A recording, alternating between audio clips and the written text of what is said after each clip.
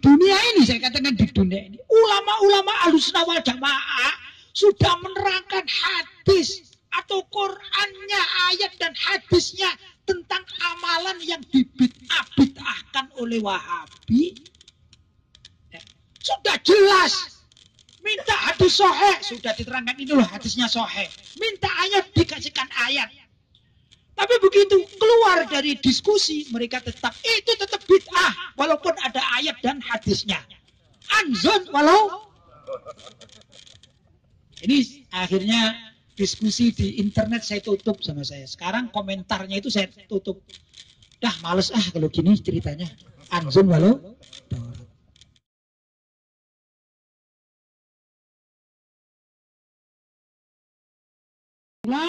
maka saya, senang menjadi penulis artikel. Salah satu tulisan saya, ini berkait dengan beda buku ya. Saya pernah menulis waktu WTC ini, gedung WTC nah, jatuh, setahun berikutnya saya menulis satu judul namanya 11 September Hari Anti Amerika Sedunia. Itu judul yang saya buat. Saya bilang ini Amerika perlu dimusuhi memang. Ya, zaman itu perlu dimusuhi. Maka saya bikin tulisan. Waktu itu kawan kita di FPI Habib Rizik masih belum seperti yang sekarang lah. Artinya sudah ada FPI tapi belum apa ke daerah-daerah itu Jakarta. Kebetulan tulisan saya itu diterima sama Habib Rizik, tak tahu lewatnya gimana. Dan ternyata Habib Rizik itu kawan saya di Mekah. Beliau kuliah di Riyadh, saya di Mekah, mondok. Tapi kalau liburan kuliah, beliau ke pondok, ke pondok kami, ke pondok Abu Yazid Muhammad Al-Maliki dan menjadi kawan akrab saya. Gitu. Salah tahu nama saya, wah ini bagus, isinya bagus. Ternyata sama beliau diperbanyak sampai berapa ribu itu disebarkan di komunitas beliau gitu. Nah, itu akhirnya ya saya terus saya menjadi penulis. Alhamdulillah mungkin juga bisa di, dipikirkan sama kawan-kawan ya dakwah itu tidak hanya ceramah tapi juga ada menulis. Ya, man kataba Korro, oman hafidho, farro kan gitu. Orang mau menulis, korro akan tetap abadi. Oman hafidho, siapa yang cuma hafal saja, farro akan lepas. Apalagi kita meninggal dunia, lepas sudah kan gitu ya. Maka saya menjadi penulis, penulis artikel. Senang artikel pendek. Saya malah kurang suka saya menulis buku besar, macam disertasi atau apa itu kan, itu saya tidak suka. Ya kan hobinya nulis artikel. Kemudian artikel itu saya masukkan di website namanya www.pejuangislam.com. Nah, itu saya buka website tahun 2009. Sudah? Maka semua tulisan saya yang dulu-dulu tercecer di mana-mana saya kumpulkan, saya masukkan. Nah, antara lain ya tadi itu musuh besar uh, apa tadi? Antara lain 11 September hari, anti Amerika sedunia. Kenapa kok 11 September? Karena runtuhnya gedung WTC tanggal 11 September. Orang masih diskusi siapa pelakunya Pak Usama Bin Laden itu apa enggak. Saya perlu menuduh. Mereka menuduh kita pun juga menuduh. Wa makaru wa makarallah. Kan begitu kan ya? Mereka menuduh kita juga menuduh. Pakai alasan. Mereka enggak pakai alasan, kita enggak pakai alasan. Kan gitu kan? Pokoknya kita tuduh. Nah, itu salah satu metode ya. Nah, jadi kalau kita bermain bola juga kita bermain bola itu ada sistem pertahanan paling baik dalam bermain bola adalah menyerang. Jadi menyerang adalah pertahanan terbaik. Kalau kita main bola bisanya cuma bertahan, kemungkinan besar gol, kalah kita. Ya, kemungkinan besar kita satu tim ini cuma di belakang, nggak ada penyerangnya. Walaupun kuat, tapi kemungkinan besar jebol juga. Tapi kalau kita menyerang, walaupun kadang-kadang kita ke, kebobolan itu, tapi kemungkinan besar kita juga memasukkan paling tidak ya dua satu dua tiga kan gitu kan masih ada poin kan gitu. Maka di sini kita perlu juga dalam berdakwah ada serangan. Jangan cuma bertahan saja. Ya enggak? Jangan tapi ada serangan. Cuman serangan di sini adalah serangan secara ilmiah. Ya maka tulisan-tulisan saya saya kemas sebagai ilmiah untuk menyikapi problematika umat yang berkembang di masyarakat. Nah, di antara artikel-artikel itu ada terkait dengan uh, Amalia Ahlussunnah wal Jamaah. Saya menulis tentang ziarah kubur. Sudah saya upload di website. Ternyata ada pro kontra. Wajah jadilah dialog panjang gitu. Saya pikir aspeknya ini saya bukukan saja. Ya. Nah, saya bikin tulisan lagi misalnya tentang uh, nyekar bunga di kuburan. Boleh apa tidak boleh? Saya katakan boleh, ini dalilnya. Wahabi tidak terima. Ya sudah dialog di situ. Oh, panjang. Dan ada satu tulisan yang sekarang saya tutup juga komentar komentarnya sudah saya tutup di situ karena ya apa ya nah, repot bertemu dengan orang yang nanti kita bedah buku yang namanya Anzon Walau Toro. Ya, ada cerita namanya Anzon Walau Toro. Kita ini berdebat atau berdiskusi dengan Anzon Walau Toro itu tidak selesai-selesai. Namanya debat kusir. Debatku, ya ada. Itu yang terjadi dengan kalangan Wahabi. Maka setelah sekian banyak saya kumpulkan, jadilah saya beri buku Sunni dan Wahabi dialog ilmiah seputar al-sunnah wal jamaah. Baik, nah, sekarang ini ada yang bawa bukunya ya, sebagian ya. Baik, kalau ada yang bawa bukunya di pasal pertama, coba dibuka, itu saya tulis anzun walau torot. Ini akan saya sampaikan. Pertama dalam bahasa Arab, anzun itu kambing ya. Karena kalimatnya itu anzun, ada, ada juga di dalam bahasa Arab yang menggunakan anzatun, anzatun atau anzun ya. Sama, itu penggunaan. Ini namanya muannasnya muannas majazi ya. Muannasnya muannas majazi zi. Yang penting kambing mau laki, mau perempuan, mau apa namanya? Mau betina, mau jantan itu bahasa Arabnya anzun. Boleh juga anzatun. Nah ini khilafiyah di dalam dunia bahasa tidak masalah itu ya. Nah, di sini ada juga mengatakan kenapa nggak ditulis anzun walutoro, kok pakai walutorot, pakai muannas? Ya namanya muannas majazi, tidak masalah itu ya. Saya juga mendapatkan di bahasa Arab pun kata pembahasan kata misal atau kata pribahasa ada menulis anzon walau toro ada menulis anzon walau torot ada menulis anzatun walau torot gitu. Kalau ditulis anzatun walau toro ini tidak ngerti nahwu. Kalau ditulis anzon walau torot ini masih ada cabang nahwu di situ ya ini kejelian gitu ya kejelian kita untuk berbahasa baik ya ikhwan itu anzon walau toro kalau dibaca saya tidak baca saya cerita di sini Dulu ada dua orang kawan ya. Kalau di sini saya beri nama satunya Armin, satunya Halim. Ada berkawan. Nah, Armin dan Halim ini jalan-jalan. Biasa berdiskusi. Sebut yang satu ini Sunni, yang satu Wahabi. Ah, ya? ya terserah lah nanti aja. Dengarkan dulu ceritanya ya. Nanti kan kalau buka rahasia tidak mendengarkan kurang seru katanya. Ringkas cerita, saya tadi Halim sama Armin kan sudah baca nanti saya diingatkan saya juga lupa kadang-kadang ya. Lama ini tulisan lama itu.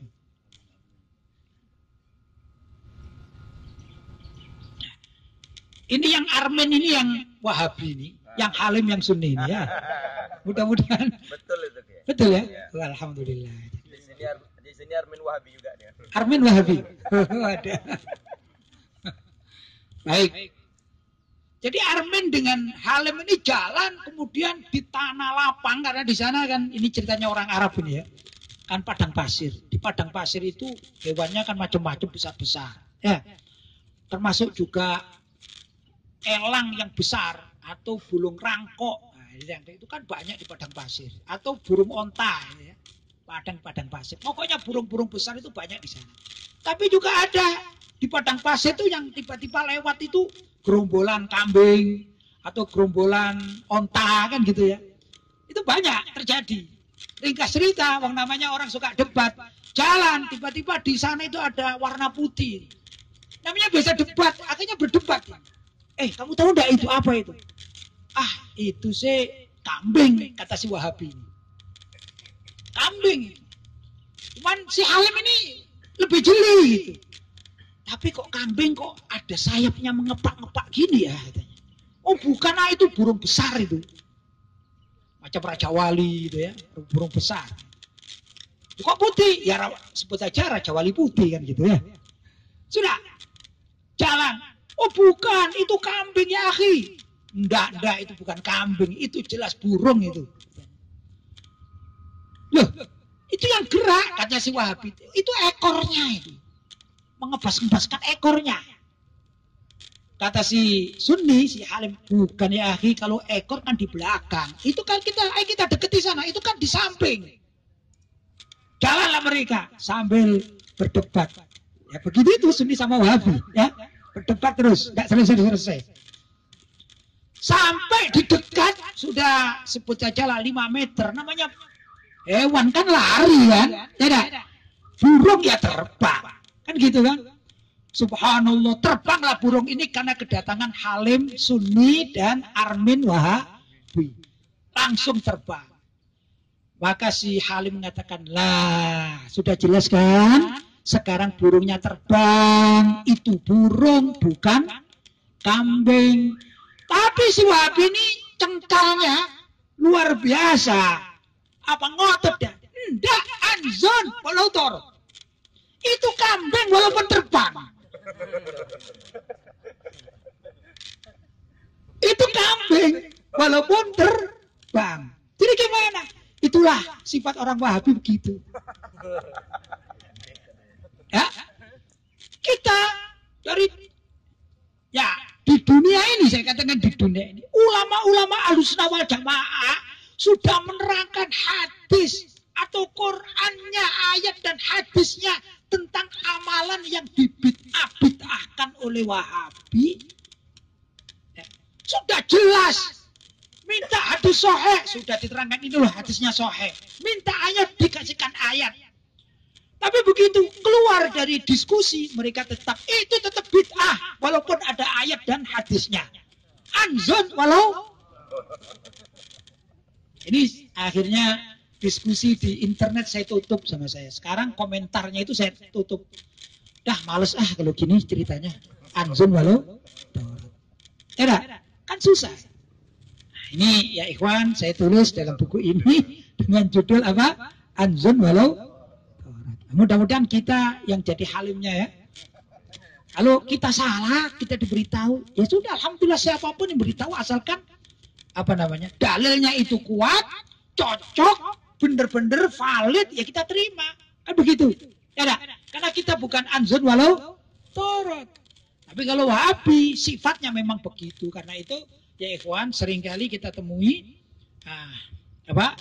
Nah, kawan-kawan kita di sebelah sana ya itu aja yang didakwakan itu itu saja yang dihafalin hadisnya ya itu itu saja tidak mau lebar tidak mau meluas tidak mau mengkaji yang lain-lain jadi ustadznya pun dibatasi mereka mengatakan jangan hadir di masjid taklim selain dari ustadz-ustadz dari kami. Itu terjadi. Karena apa? Karena kalau sudah belajar di sana, kemudian belajar sama ustadz-ustadz sebelah sini, bingung kan? Lah akhirnya kalau orang ini otaknya sehat, akan berpikir. Iya ya. Ini masa seluruh Indonesia ini yang tahdilan ini min ahlinar semuanya ya. Semuanya yang tahlilan di neraka. Masa? Berarti yang masuk surga kan sedikit. Semuanya mereka minoritas. Betul? Itu yang terjadi. Saya punya adik kelas. Tapi dulu sebelum saya di Mekah, saya apa, mondok di Malang. Namanya Darut Tauhid. Setelah saya pergi ke Mekah, ada salah seorang adik kelas saya, itu berceramah. Jadi adik kelas saya ini, ini pondoknya pondok Sunni, kemudian pergi ke Libya, Jakarta. Terkena virus Wahabi di Libya, Jakarta. Sudah pulang jadilah Wahabi. Akhirnya dia menul, eh, dia ceramah mengingkari tentang masalah sholawat nariyah. Jadi klik di YouTube polemik sholawat nariyah tulisi Lutfi Basori akan muncul di situ. Setelah dia berceramah, saya mendapatkan ceramahnya itu, kemudian saya counter dengan ceramah juga. Ya. Ngevlog lah gitu ya. Dia, dia ceramah semacam ngevlog, saya juga bikin vlog gitu ya. Walaupun bukan vlog langsung gitu ya. Intinya, wa magaru wa magarullah. Vlog dibalas vlog. Tulisan dibalas tulisan. Kan begitu kan ya? Adil. Saya terangkan tentang bahwa sholawat itu tidak mutlak harus apa yang dari Nabi, tidak. Tapi banyak, ini sahabat bulan, ini ulama zaman dahulu kala membuat apa namanya sholawat-sholawat dengan redaksi sendiri. Boleh. Tapi kok sekarang menjadi diharamkan itu bagaimana? Itu siapa yang nabinya siapa? Ya enggak? Yang salafnya itu siapa sih? Salafnya itu yang lahir sekarang apa zaman dahulu kala? Kalau mengatakan kami salafi berarti ikut ulama-ulama zaman dahulu kala. Padahal ulama zaman dahulu kala itu mengarang redaksi solawat. Terus kok diharam-haramkan ini? Sampailah vlog saya ini kepada yang tersangkut, yang terlibat, yang terkait. Ya. Subhanallah akhirnya dia melihat ini yang bicara kakak kelas saya ini. Gurunya sama ini. Cuman ini ke Mekah dan tidak jadi Wahabi. Sedangkan mungkin dalam artinya dia ke Libya belum ke Mekah sudah jadi Wahabi. Gitu. Saya 8 tahun, Alhamdulillah ada terkontaminasi. Malah terus perang sama Wahabi kan gitu ya. Perang pemikiran sama Wahabi. Enggak, enggak apa terpengaruh. Gitu. Subhanallah ya ikhwan dengan kejadian itu akhirnya dia berpikir. Dan sekarang kembali Alhamdulillah dia mau hadir maulid, mau tahlilan, mau. Karena kita berperang pemikiran. Maksud saya ya ikhwan, menerangkan atau menulis macam demikian ini ya. Saja Ustadz Alnof ini ya. Misalnya, saya baru kenal sekarang ya, saya kenal pribadinya bagaimana, saya tidak kenal ya. Anggap saja beliau bukan penulis, anggap saja. Tapi beliau itu bisa menulis ulang Misalnya di sini tadi itu anzon walutorot ditulis ulang kemudian disebar lewat WhatsApp yang belum miliki. Dengan rujukan kitab ini ini wong kita ini kita kan orang yang selalu amanatun nakal kan gitu ya dari bulan-bulan bulan kita sebarkan. Itu kan perjuangan namanya. Ya daripada kita nggak ngapa-ngapain diem saja gitu melihat marahnya wahabi-wahabi di sekitar kita ini kita diem aja. Kan mending kita berbuat sesuatu Ustadz Alnof pinter ceramah, tapi tidak punya bahan berkaitan dengan urusan Sunni Wahabi misalnya. Kan ada buku-buku, ini saya tulis sekarang, saya bicara bid'ah kulu bid'atin dolala misalnya. Nanti ada bukunya kulu bid'atin dolala pada bab berikutnya. Ya. Setelah membaca, menyampaikan dengan bahasa beliau, kan bagus. Di vlog saja. Bikin vlog. Sehingga pejuang-pejuang kita ini variatif ada saya dari Malang, ada Ki Idrus Romli dari Jember, ada Buya Yahya dari Cirebon, ada UAS Ustaz Abdul Somad dari Riau. Kemudian adik-adik kelasnya juga membuat yang sama sehingga masyarakat ini jadi tahu. Artinya begini, suatu saat seperti ibu-ibu yang ada di sana, kebetulan mendengarkan ceramah saya yang isinya tentang apa sih makna kulubitatun dolala, maka ibu-ibu ini paham dari saya. Tapi ibu-ibu yang sana nggak sempat mendengar ceramah saya, dengar dari Ustadz Abdul Somad. Ibu-ibu yang sana dengar dari Buya Yahya. Yang sana dari Kiai Idus Romli. Kemudian yang sebelah sana dari adik-adik kelas. Dan itu kan akan rame. Artinya ilmu itu menjadi tersampaikan ke tengah masyarakat. Ini yang kita harapkan. Ya. Baik ya ikhwan, jadi ah, pasal pertama sudah saya terangkan di bedah buku ya. Pasal kedua Judulnya kullu bid'atin dolala. Eh. Kita berperang pemikiran melawan suatu aliran. Kebetulan yang ini kita bicara Wahabi ya. Tadi di beberapa tempat saya bicara tentang Syiah khusus. Dan juga di beberapa tempat lagi tentang liberalisme ya. Nah, sekarang ini tentang Wahabi gitu ya. Maka kita harus mengerti apa sih yang biasa dipakai oleh orang Wahabi yang dibahas Antara lain satu hadis tentang masalah bid'ah. Iyakum wa muhdatsatil umur fa inna kulla bid'atin dolala wa kulla dolalatin eh fa inna kulla bid'atin dolala wa kulla dolalatin finnar kan gitu ya. Iyakum wa muhdatsatil umur fa inna kulla muhdatsatin bid'ah. Janganlah kalian ini atau hati-hatilah kalian terhadap perkara-perkara yang baru. Fa inna kulla muhdatsatin bid'ah. Sesungguhnya yang baru itu bid'ah. Itu bahasa lugotan. Setiap yang baru namanya bid'ah. Ya. Setiap yang mengaji di suatu komunitas majlis taklim namanya murid kan begitu. Ya. Siapa pun adanya mulai dari tukang sapu sampai presiden kalau hadir di majlis taklim namanya murid. Kan gitu. Ini secara umum lugotan. Ya. lughatan. Jadi wa kullu muhdatsatin bid'ah. Setiap yang baru istilahnya bid'ah. Jadi sesuatu yang baru itu namanya bid'ah. Ini lughatan secara bahasa. Sudah. Terus ada kaitannya wa kullu bid'atin dolalah. Ini kula yang di sini tidak bisa diartikan seperti yang pertama dengan lafaz kulu artinya setiap. Maka ulama membatasi. Wa kulla bid'atin saya terjemahkan dengan bahasa Arab dan Indonesia dulu. Wa kulla dan bid'atin adalah bid'ah itu sesat. Wa kulla dolalatin nar dan setiap yang sesat itu pasti di neraka pembahasan kita kepada lafat kula pada kalimat yang kedua. Ya. Iyakum wa muhdatsatil umur. Fa inna kulla ini kula pertama ya. Fa inna kulla muhdatsatin bid'ah. Ini yang pertama. Fa kulla bid'atin dolala. Ini yang kedua. Fa kulla dolalatin fin nar. Ada berapa kulla di situ? Tiga. Kita akan membahas yang kedua. Paham ya? Kalau yang pertama sepakat bahwa setiap yang baru itu diberi nama bid'ah. Yang terakhir, setiap yang sesat itu pasti masuk neraka. Problem kita adalah memahami tentang kula yang kedua.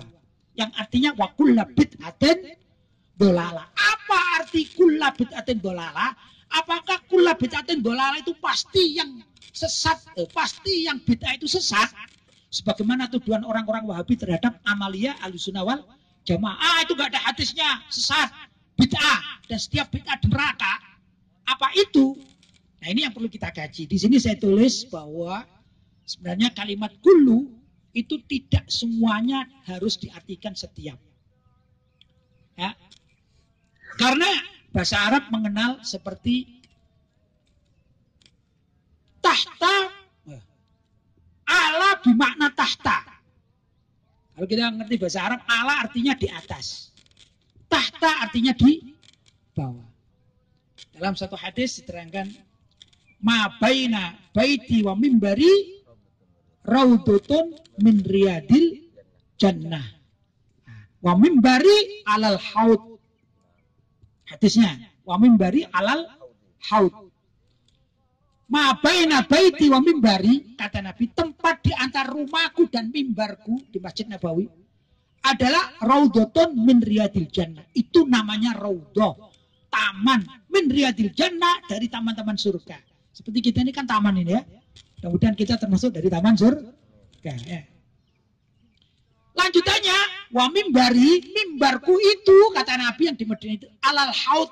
Kalau tekstual, diterjemahkan dengan kamus, maka mengartikannya dan mimbarku ini Allah di atas haut telaga kautar. Telaga kautar di mana ini? Di surga.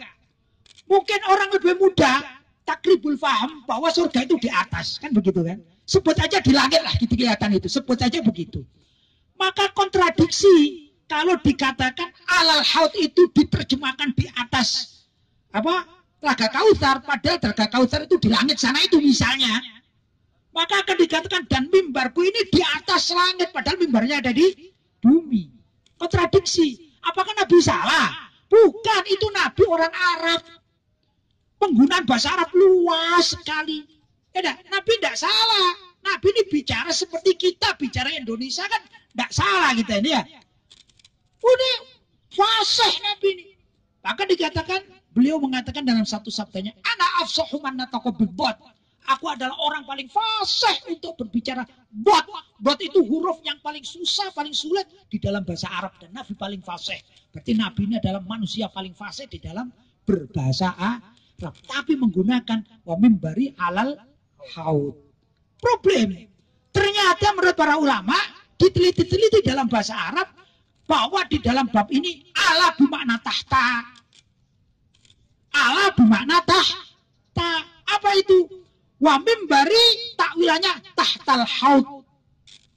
Mimbarku itu kalau ada tanggane ke atas, maka tepat di atas telaga kautsar. Ya. Misalnya, misalnya di atas sana itu adalah uh, telaga kautsarnya Nabi, maka mimbarnya ini persis. Itu dikatakan wa mimbari alal haud bermakna tahtal haud.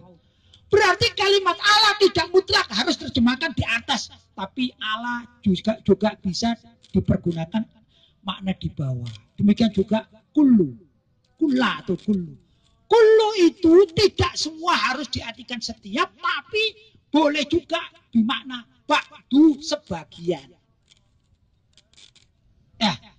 Dalilnya apa? Atau cuman karang-karangan kita aja pinter ngomong? Oh enggak, kita dalil juga Al-Quran, hadis. Dalil kita. Makanya saya katakan, kita bisa kok berdalil, berdebat dengan mereka dengan ayat-ayat Al-Quran atau hadis-hadis Nabi atau dengan bahasa-bahasa Arab yang fasih. Kita bisa. Cuman mereka mau menerima apa tidak, ini yang jadi masalah. Ya, saya katakan. Allah SWT berfirman, Waj'alna minal ma'i kulla syai'in hayyin. Waj'alna kan kami jadikan, kami ciptakan minal ma'i dari air, gampangnya dari sperma, kulla, nah, saya tidak terjemahkan dulu, kulla syai'in sesuatu, ya, hayyin yang hidup. Ayat ini menerangkan bahwa Allah SWT menciptakan makhluk hidup dari sperma. Realita, kalau itu manusia benar dari sperma. Binatang benar dari sperma. Betul?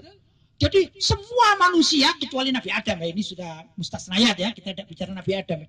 Semua manusia yang lahir di dunia itu semuanya berasal dari sperma.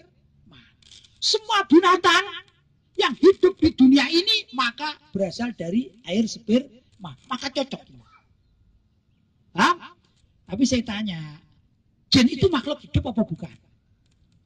Hayen makhluk hidup. Ya, sekarang jin diciptakan dari sperma atau bukan? Enggak. Dari apa? Dari api. Paham? Malaikat itu makhluk hidup enggak? Makhluk hidup diciptakan dari apa? Cahaya. Cahaya. Jadi cocok enggak kalau wajalna minal ma'i kulla diartikan semua setiap cocok apa enggak? Tidak cocok karena jin tidak diciptakan dari sperma. Berarti apa ini? Berarti di sini kula bermakna bakbo sebagian. Waja'alna minal ma'i kulla syai'in hayyin ay ba'do syai'in hayyin. Kami jadikan uh, minal ma'i dari air sperma sebagian makhluk hidup. Maka ini benar. Siapa sebagian itu? Manusia apalagi hewan. Ya, sebagian lain enggak. Ada yang dari cahaya, ada yang dari api. Karena itu di dalam ayat Al-Quran merangkan tatkala iblis diperintahkan oleh Allah untuk sujud pada Nabi Adam, dia menolak dengan kesombongannya, dengan liberalnya itu dia menolak. Kholaqtani minarin. Ya Allah, engkau ciptakan aku dari neraka. Kata iblis. Wa kholaqtahu min tin. Sedangkan engkau ciptakan ini Adam ini dari tanah liat. Wah ini liberal sekali pemikirannya. Dia berpikir, berpikir ini. Masa yang kau ciptakan dari api, suruh sujud menghormat kepada yang kau ciptakan dari tanah. Api itu menjulang loh sifatnya. Kalau kita menyalakan api, larinya ke atas. Tapi kalau tanah enggak, kita lempar ke atas, dia turun ke bawah. Mana yang lebih afdal mulia? Kata iblis, pasti yang menjulang tinggi itu lebih mulia. Ini akal otak liberalnya iblis itu sudah ada sejak di surga dulu penciptaan Nabi Adam. Ya, nah, karena itu iblis mempunyai jaringan. Namanya jaringan iblis liberal itu kalau disingkat namanya jil. Jadi. Ya, ini bapak HP bapak. Jil ini. Balik aja ya. Kembali lagi pada permasalahannya wajalna min apa namanya? Kullus. Wa kullu bid'atin dolalah wakul bid'atin dolala, maka menerjemahkan wakul bid'atin dolala itu bukan setiap, tapi sebagian bid'ah itu sesat. Jadi kalau diterjemahkan begini, itu namanya iltifat ya di dalam bahasa Arab namanya iltifat ya. Ini saya terangkan sedikit iltifat contoh saja ya. Jadi iyakum wa muhdatsatil umur. Berhati-hatilah kalian terhadap sesuatu yang baru, perkara-perkara yang baru. Fa inna bid'ah ini definisi. Sesungguhnya setiap yang baru itu definisinya namanya bid'ah. Tapi wa kulla bid'atin dolala dan sebagian bid'ah itu dolalah sesat. Kemudian kembali lagi yaltafit kembali kepada asalnya wa dolalatin finnar setiap yang sesat itu di neraka. Apa itu iltifat? Iltifat itu dalam bahasa Arab berpindah.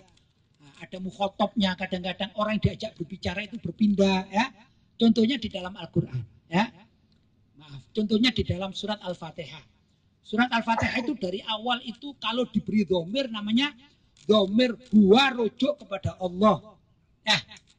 Bismillahirrahmanirrahim. Apa bismillah? Dengan nama Allah yang maha pengasih lagi maha penyayang. Itu kan gua kan? Bismillahirrahmanirrahim. Alhamdulillah.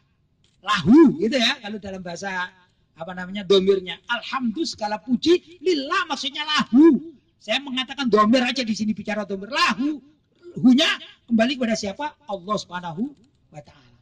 Ya, kalau dikatakan huwa huwa huwa gitu. Alhamdulillahirabbil alamin. Ar-Rahmanir Rahim juga sifat ini ada domirnya kembali kepada huwa huwa Allah. Huwa Rahman, huwa Rahim. Kan begitu? Ar-Rahman Rahim. Maliki yaumiddin sifat Huwa, dia Allah itu adalah Malik Yaumiddin. Raja segala raja itu dia. Sudah, ini cerita. Paham ya? Cerita. Misalnya saya cerita kepada Ustadz ini. Ustadz, dia ini adalah Tuhan yang Maha Esa. Dia ini juga adalah Tuhan yang Maha Kuasa. Dia adalah pengasih Maha Penyayang. Ini kan namanya cerita. Domirnya domir goib. Ada?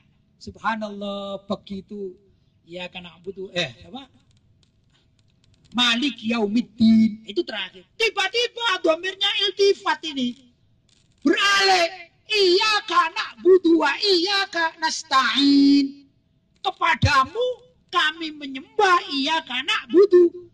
Wa iya nasta'in. Kepadamu kami minta pertolongan. Tadi huwa huwa huwa. Kok di sini anta anta anta. Beda. Itu namanya iltifat di dalam bahasa Arab. Masalah? Enggak masalah. Itu memang bahasa Arab begitu kok. Siak-siak bahasa Arab apa ya? Siakul kalam apa siak itu? Nah, susunan bahasa itu memang begitu bahasa Arab mengenal banyak nah, balago-balago yang indah-indah itu sastra kan kan sastra-sastra itu yang luar biasa itu yang tidak banyak dipelajari oleh kita apalagi orang Indonesia jarang ya orang Arab yang sekarang aja juga jarang jadi iltifat namanya paham iya karena butuh iya karena stain terus Ihdina, ihdi itu kan perintah, minta. Itu juga kepadamu ya Allah. Ihdi, berilah kami ya Allah. Ihdi al mustaqim, jalan yang lurus. Jalan yang lurus apa garis lurus? Hah? Jalan lurus apa garis lurus? Jalan dan garis yang lurus ya. Perkumpulan saya namanya garis lurus soalnya ya. Menggunakan dalil ihdina siratal mustaqim. Siratal ladzina an'amta alim ini sifat. Ghairil maghdubi alaihim waladhdallin. Amin. Ya ini sifat ya. Saya tidak bahas itu tapi bahas iyaka. Kenapa kok harus ada iyaka namanya iltifat? Maka di dalam hadis tadi iyakum wa muhdatsatil umur fa inna kulla muhdatsatin bid'ah fa inna kulla bid'atin dolala fa inna kulla dolatan finnar itu ada iltifat yang paling tengah bab kullu kullu yang kedua namanya ada iltifat setelah semua jadi Dua kula artinya setiap, tapi iltifat bagi yang tengah artinya apa? Sebagian. Begitu kalau orang memahaminya. Baik, kita dialog dengan orang orang-orang Wahabi praktik di lapangan.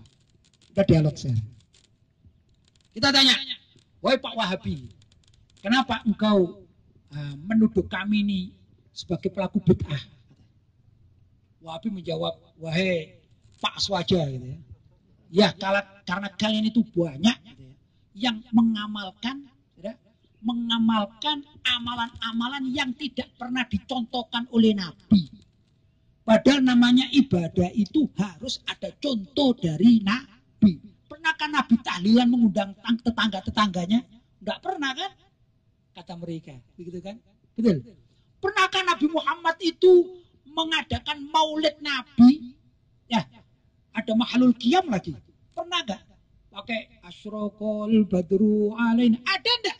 Enggak pernah. Berarti yang kamu lakukan itu pernah dijalankan oleh Nabi atau tidak? Ya kita katakan amalia kami secara tekstual tidak pernah dilakukan oleh Nabi. Nabi tidak pernah tahlilan ngundang tetangga-tetangganya. Betul? Betul?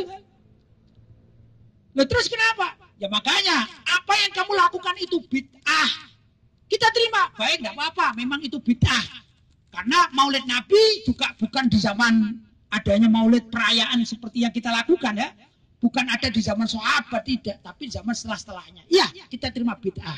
Oke. Tapi Pak Wahabi, kita katakan Alhamdulillah menurut keyakinan kami bahwa bid'ah dibagi menjadi dua. Pertama, bid'ah dolala yang sesat itu seperti apa? Yaitu suatu amalan yang baru yang tidak ada kaitannya dengan agama dan bertentangan dengan syariat maka itu namanya bid'ah yang sesat. Orang hadir dalam ritual agama non muslim boleh atau tidak boleh? Tidak boleh, haram. Ya.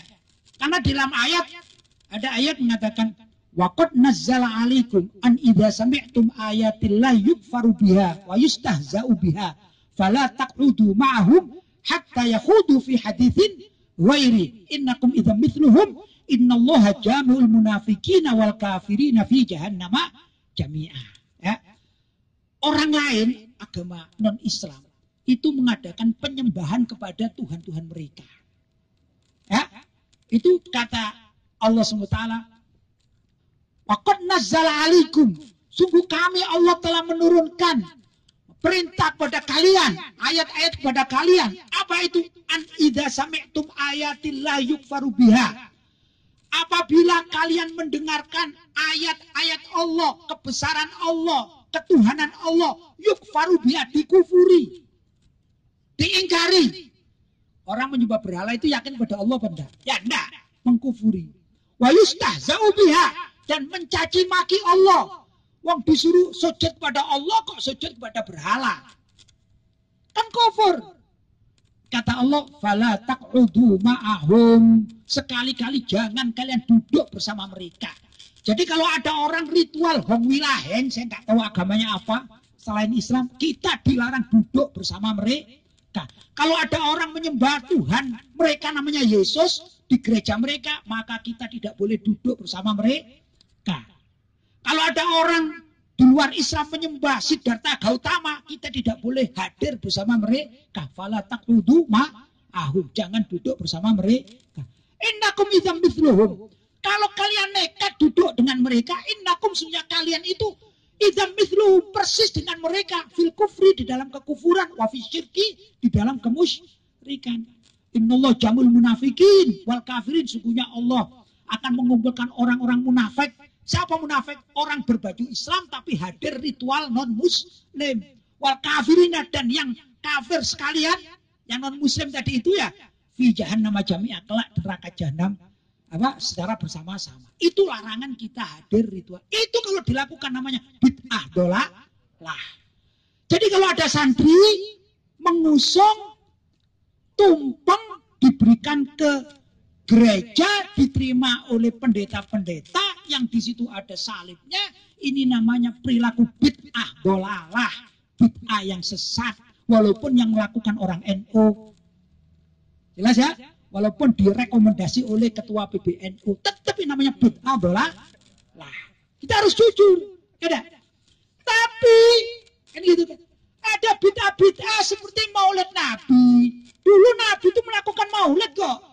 Cuman bedanya Nabi bermaulid itu dengan berpuasa. Tatkala Nabi ditanya tentang kenapa berpuasa pada hari Senin, beliau menjawab, Fihi itu karena di hari itu aku dilahirkan, maka aku sujud syukur dengan cara berpuasa. Jadi Nabi memperingati maulidnya dengan cara berpuasa. Seminggu sekali, tiap hari Senin. Kita boleh tidak memperingati maulid Nabi tiap hari? Boleh. Tapi kalau bulan maulid ini langkah lebih Hebatan lagi karena memang ada sejarahnya. Kan begitu ya dah. Maka ini kita memperingati maulid Nabi asalkan tidak ada mungkarot namanya bid'ah tetap tapi bid'ahnya bid'ah hasa. Nah, jelas itu orang Habib tidak terima itu. Enggak, pokoknya kul kullu bid'atin dolalah. Setiap dola pasti di neraka. Namanya anzun walau maklum lah anzun walau Baik, Pak Wabi saya mau tanya sekarang. Anda akan mengatakan bahwa apa pun yang kami kerjakan, yang kami katakan bid'ah, walaupun hasanah, engkau fonis bahwa itu adalah sesat. Kenapa? Ya, karena engkau mengatakan bahwa pembagian bid'ah, dolala, dan hasanah itu karya ulama, bukan dari Nabi. Nggak ada nas. Betul? Nabi tidak pernah membagi tentang bid'ah apalagi Al-Quran. Tidak ada. Ya ayyuhalladzina amanu innal bid'ata tanqasimu ila qismain. Enggak ada. Enggak ada ayat begitu. Ada? Enggak ada. Hadis pun enggak ada. Berarti gimana? Berarti memang yang membagi ulama. Baik. Pak Wahabi, saya tanya sekarang. Anda mulai tadi saya lihat kayak sekarang ini. Ya, mungkin juga ada yang dengarkan. Anda kok melihat video yang saya ceramah nih ada live gitu ya. Ada yang gitu live ini ya Kenapa Anda melihat melihat video atau melihat apa streaming? Itu zaman Nabi tidak ada itu. Ada enggak zaman Nabi? Berarti Anda melakukan bid'ah. Dan apalagi zaman sekarang setiap orang wabi rata-rata punya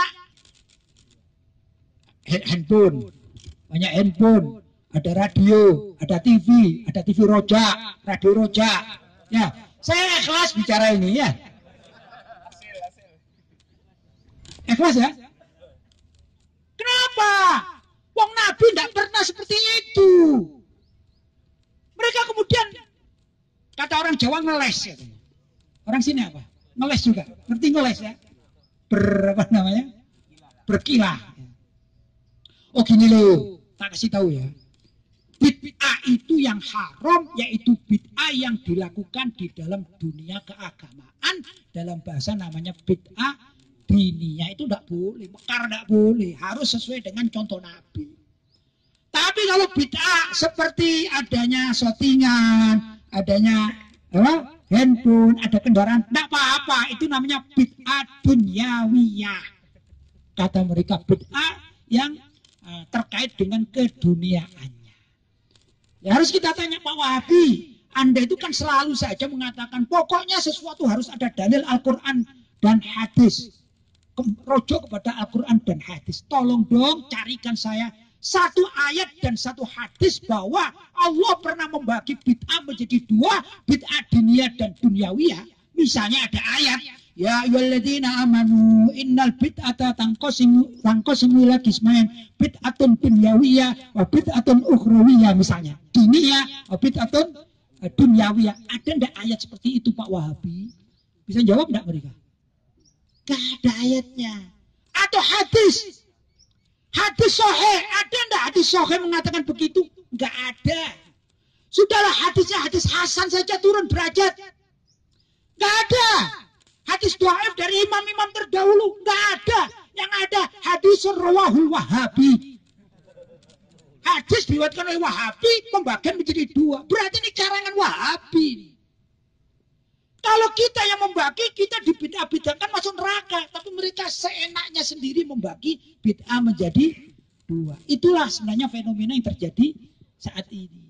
Nah, ini saya tulis, saya kupas di dalam bab kullu bid'atin dolala dengan komentar-komentarnya ya. Mudah-mudahan yang tertarik nanti bisa membacanya ya. Kalau belum ada bukunya pinjamlah. Apa? Oh, pesan lagi ya. Terus saya akan loncat ini sudah berapa ini? Kurang berapa berarti? Setengah jam setengah jam baik itu ada halaman 115 yang punya bukunya dibuka halaman 115 saya beri judul nyekar bunga di kuburan. Ini tadi bagian bertanya ini. Ya 115. Sebentar dulu, saya lihatnya.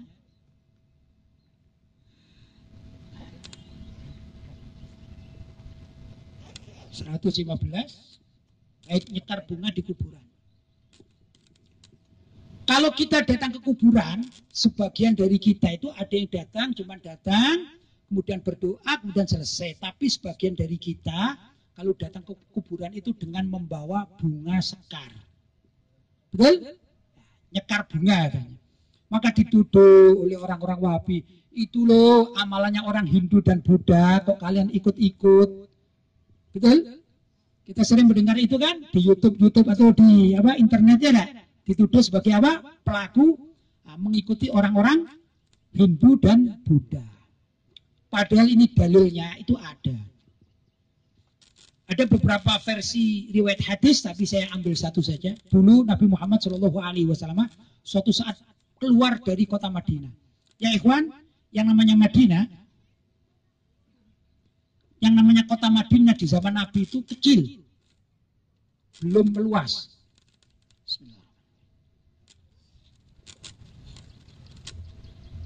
Sehingga para sahabat itu kadang-kadang di antara mereka untuk menghormati kota Madinah, mereka kalau buang hajat, kasarannya, kasarannya kencing lah gitu ya. Itu keluar dari kota Madinah.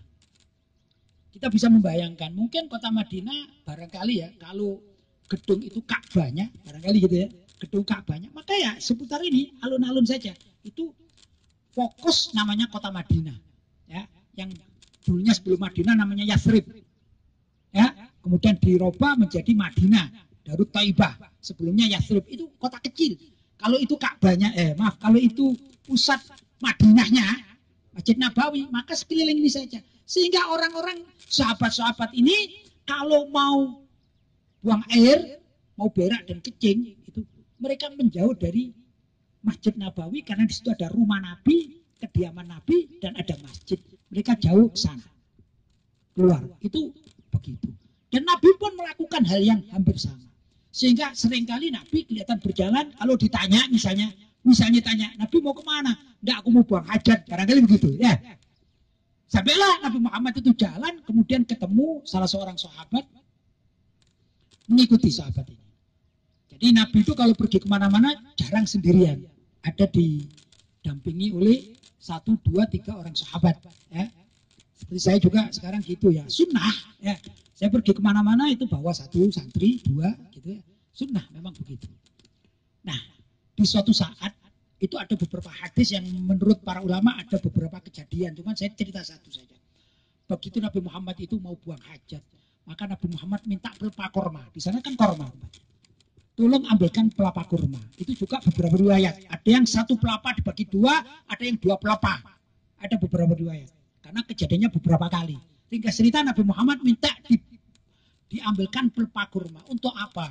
Nabi Muhammad itu kalau buang air kecil, maaf ya, ini kan tanah lapang namanya. Kalau tanah lapang, kalau saya menghadap sana, memang di belakang tidak kelihatan. Tidak kelihatan, kasarannya mohon maaf, tidak kelihatan kemaluan saya. Tapi yang di depan kan kelihatan. Kalau ada orang lewat kan berarti saya tidak menutup kemaluan atau aurat. Betul kan? Ya. Padahal yang ada di sana tidak harus manusia. Ada malaikat, ada jin, betul?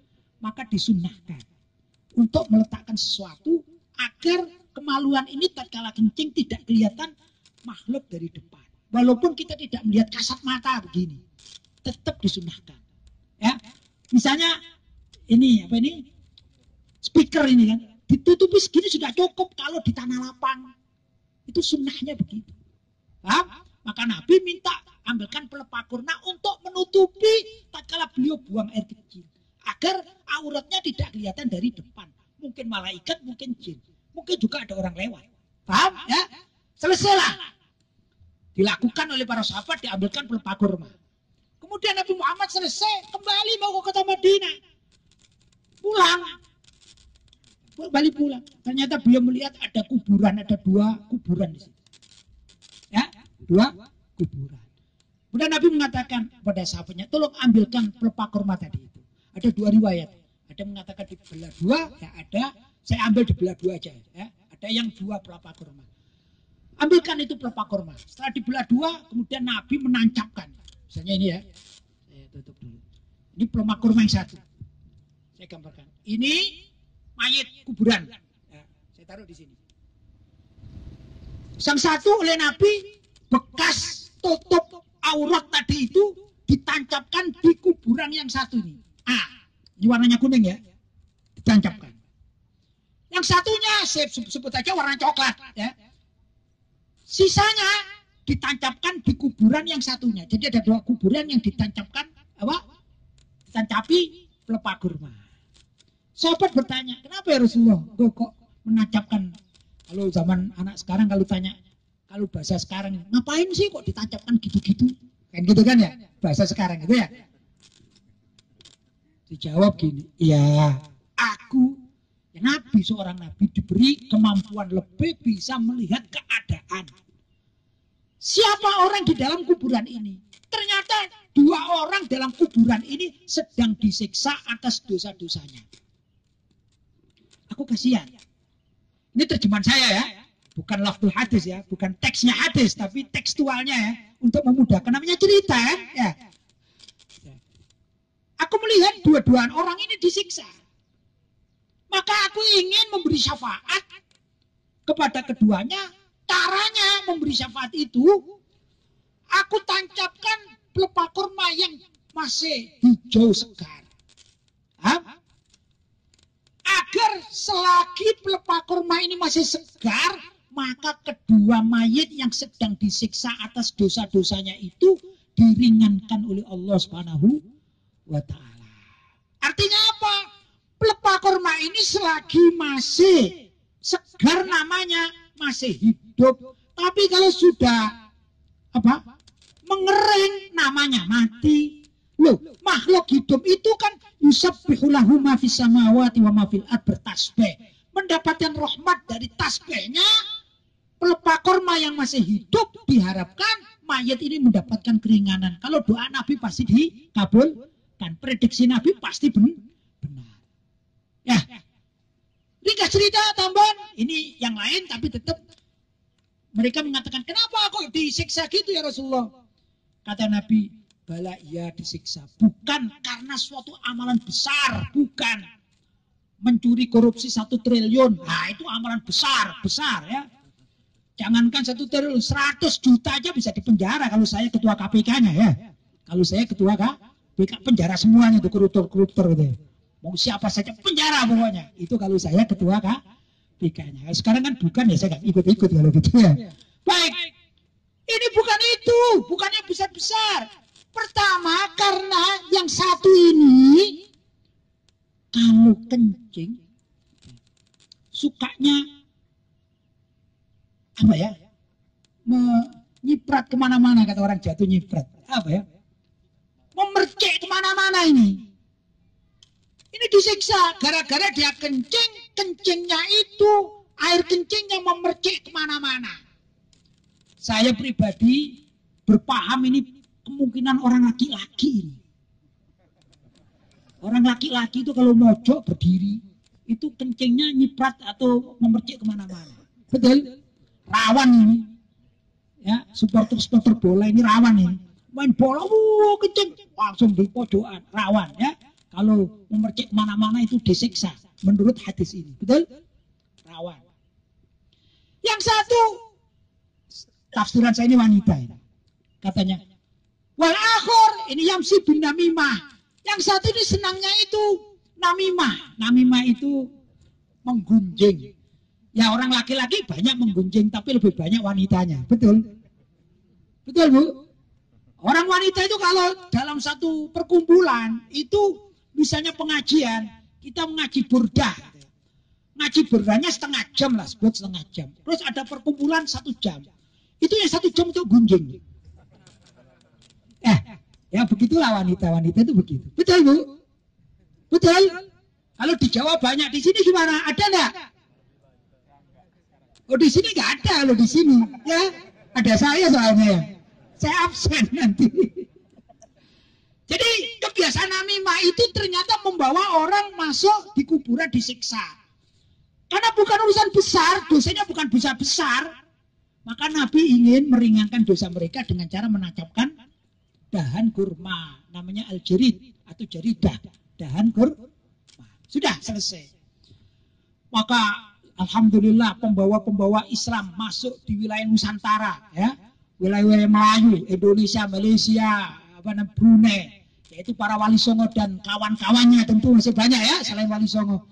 Melihat begitu masuk di Indonesia, kemudian ada yang meninggal dunia. Mereka mau cari pelepah kurma, nggak ketemu. Cari pelepah kurma nggak ketemu, kepingin sunnah Nabi. Mereka berpikir beristihad. Kenapa ya kok Nabi pakai pelepah kurma? Masalahnya bukan pelepah kurma, tapi Nabi mengatakan selagi pelepah kurma ini masih basah, berarti mayat ini akan diampuni oleh Allah. Berpikirlah, Mikir gini, oh iya di Indonesia ini luar biasa. Ada daun-daunan yang hijau, nggak ada baunya. Jalan lagi subhanallah ketemu pohon melati. Bunga melati, uh, harum baunya. Seneng saya. Ketemu mawar, harum baunya. Ketemu semboja, harum baunya. Akhirnya berpikir, lah daripada cari rumput apa atau tanaman yang hijau nggak ada baunya, sama-sama daun, sama-sama bunga, ya dah. Maka dikumpul saja yang wangi-wangi. Paham? Sudah, akhirnya itu ditebarkan di atas kuburan mengikuti Nabi berdakwah, eh, Nabi berdoa dengan dahan apa jadi korma. Andai kata Nabi itu hidup di Indonesia tidak ada korma, kira-kira ya tidak harus korma. Bisa saja pohon-pepohonan, tapi Nabi kan senang yang indah-indah, yang bersih-bersih, yang harum-harum maka kemungkinan besar bisa sepakat dengan para dai-dai di Indonesia zaman dahulu kala mengambil daun-daun yang harum untuk diletakkan di dekat kuburan di makam kuburan. Maka itulah dalil nyekar di makam pekuburan. Kan gitu aja sebenarnya. Oh nggak bisa. Lo nggak bisa gimana sih? Pokoknya harus sama dengan Nabi. Ya sudah gini aja, hei Wahabi, kalau kamu nyekar, kamu pergi ke Mekah dulu, ambil ke sini ya, ongkosnya mahal loh ya. Kamu harus umroh, kamu harus haji, susah. Belum lagi bawa pelepah ini kalau masuk pesawat susah enggak? Masalah, ya enggak? Eh, Ahlussunnah wal Jamaah tidak sekaku itu. Sama saja kita katakan gini loh Wahabi ya. Kamu kok apa-apa harus sama dengan Rasulullah. Kamu aja pakaianmu berbeda kok. Kamu mengatakan cingkrang-cingkrang dengan celana cingkrang sunnah Nabi. Saya tanya, ada enggak hadis sohem mengatakan Nabi bercelana pantalon yang cingkrang. Gak ada kok. Betul? Nabi itu bilgomis dengan gamis, bukan dengan pantalon. Pantalon itu celana ya, sarawil, sirwal pantalon. Justru dulu kakek-kakek kita, hei, hadirin dan hadirat, kakek-kakek kita yang berjuang melawan Belanda, itu pernah mengharumkan celana pantalon Mau cingkrang nggak cingkrang celana pantalon itu adalah tradisinya Belanda kafir. Masa sekarang dicingkrangkan sudah jadi sunnah. Betul? Ya Alhamdulillah ketemu kami-kami yang masih tolerir, tol, toleran kita ini. Tidak apa-apa lah. Kamu mengatakan sunnah boleh, walaupun celana cingkrang di zaman Nabi nggak ada, itu bid'ahmu itu. Tapi tidak apa-apa lah, kita nggak usah musuhan yang gitu-gitu. Betul? Ya. Cuman ini loh, kenapa kamu itu? Hei Wahabi, wong kami mengikuti Nabi untuk nyekar bunga, cuman Nabi itu nyekarnya dengan apa kurma. Di sini nggak ada dahan kurma, adanya bunga-bungaan, kami pilih bunga-bungaan. Kalau penyekar dengan kayu boleh, boleh, tidak apa-apa. Dengan rumput boleh, tidak apa-apa. Tapi kami lebih senang yang harum-harum. Enak yang harum atau busuk? Busuk enggak ya? Busuk, enggak kan? Apa ya? Jadi kita suka yang harum, harum. Tak busuk. Nah, kalau ibu-ibu pilih Bu Kartini saja ya. Ya, saya tanya Bu, Ibu Kartini itu siapa sih namanya? Nama aslinya siapa Bu? Tahu enggak? yang kita nyanyikan ibu kita Kartini. Namanya siapa sih bu? Namanya Harum. Iya, nama aslinya Harum.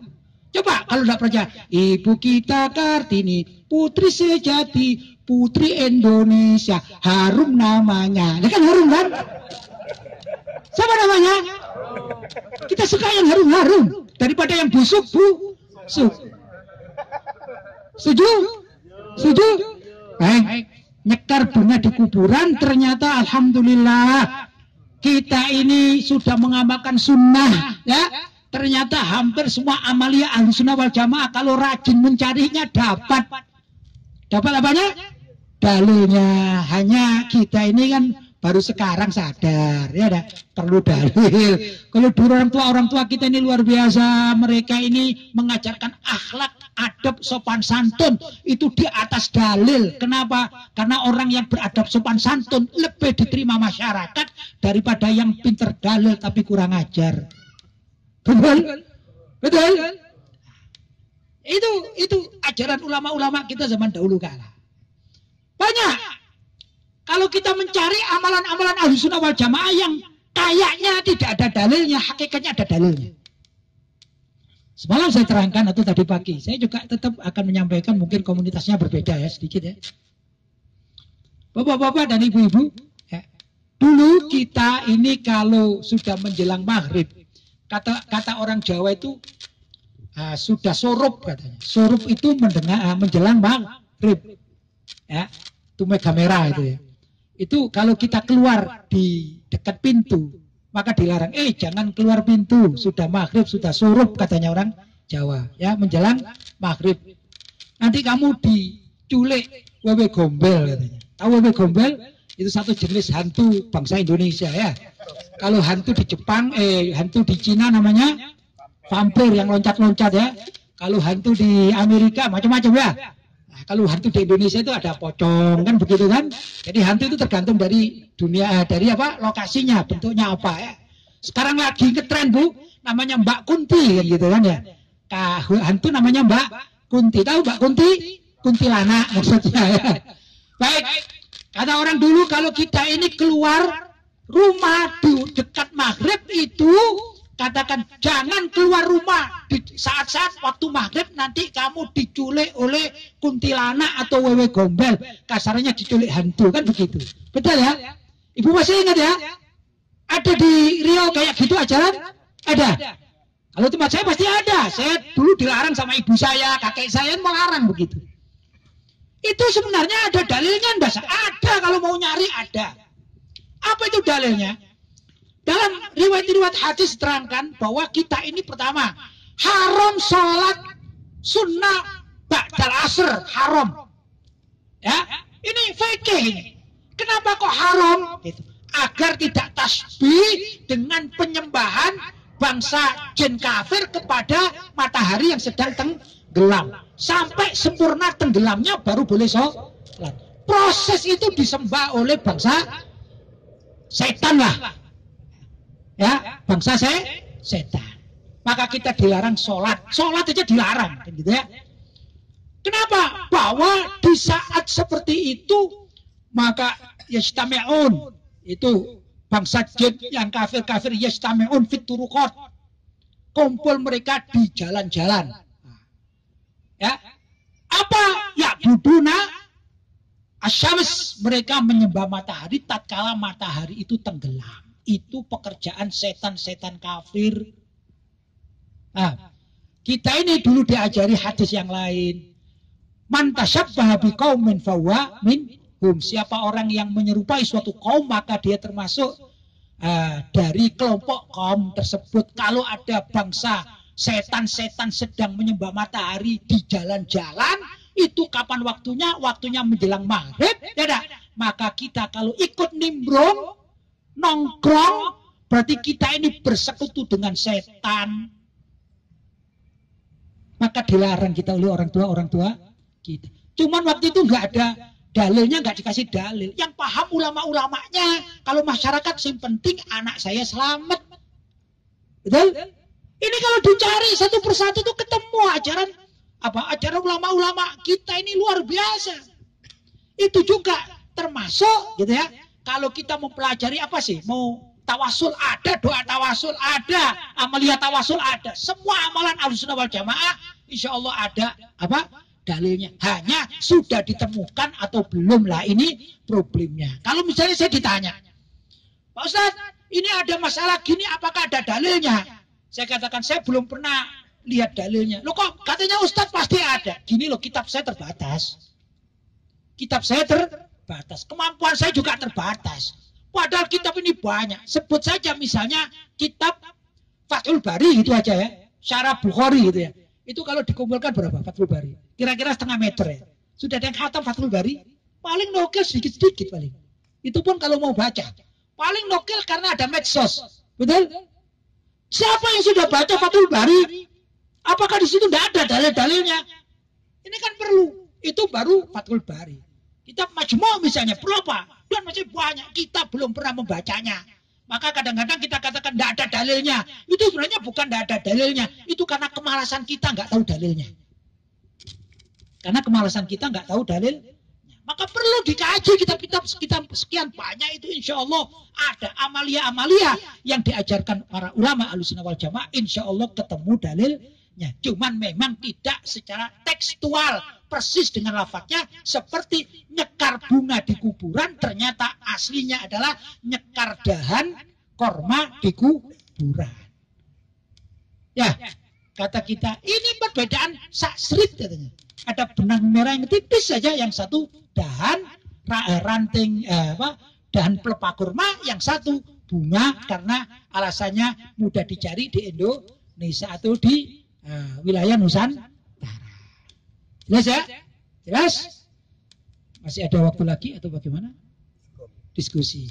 Bagi ya ikhwan ada tiga pasal yang saya sampaikan dalam kajian pagi hari ini uh, membedah buku dialog Sunni dan Wahabi seputar amalia alusna wal jamaah yang saya tulis sendiri nih ya. Mudah-mudahan ada manfaatnya, mudah-mudahan membawa berkah dan insya Allah kalau dibaca dengan apa dialognya juga akan lebih menarik. Tapi waktu yang tidak memungkinkan, saya mengucapkan ribuan terima kasih atas perhatiannya dan juga dengan bapak-bapak ibu-ibu membaca berarti saya juga mendapatkan barokah dan pahalanya kan begitu yang saya harapkan.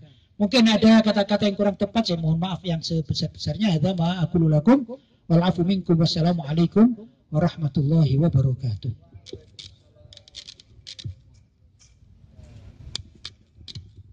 Baik, ahibba fillah, karena keterbatasan di sini mic tidak banyak, sehingga yang bertanya silahkan langsung bertanya, nanti nanti langsung kiai tanggapi. Bagusnya satu pertanyaan langsung ditanggapi. Artinya satu orang bertanya, langsung kiai tanggapi, nanti baru penanya selanjutnya. Silakan bagi yang bertanya. Di belakang. Yang perempuan sampai suaranya enggak? Atau kertas? Biar mudah gitu. Yang di depan mungkin suaranya agak keras. Yang laki-laki silakan kalau ada bertanya. Oke. Okay. Ustaz Yusuf.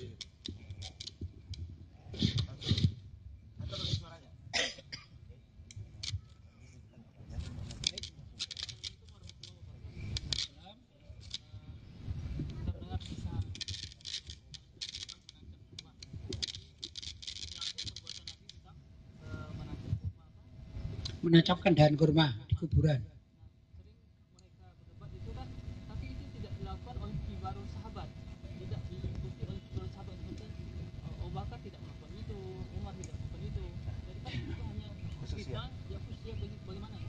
Jawabnya, pertanyaannya begini ibu-ibu, itu yang menancapkan dahan kan Nabi Muhammad saja terhadap apa satu kasus peristiwa dan para sahabat kibar seperti Sayyidina Abu Bakar, Sayyidina Umar tidak melakukannya kan gitu.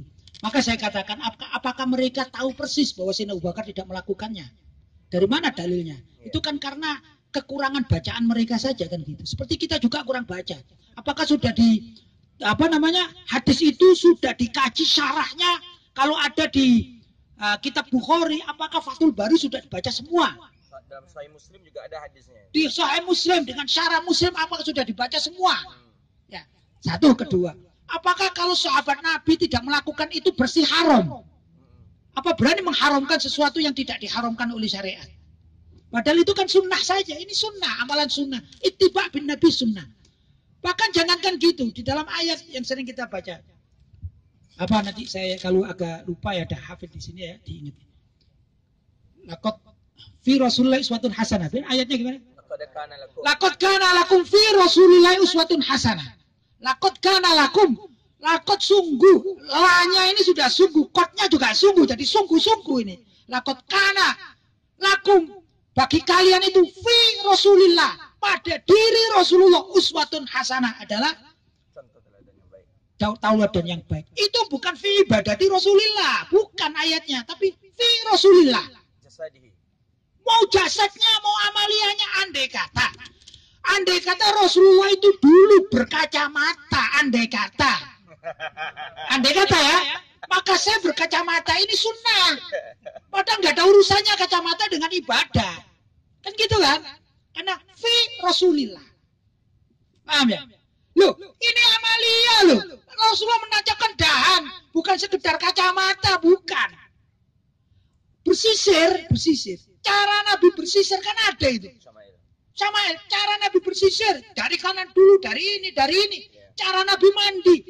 Mandi itu kan bukan syariat, artinya seperti halal haram kan tidak.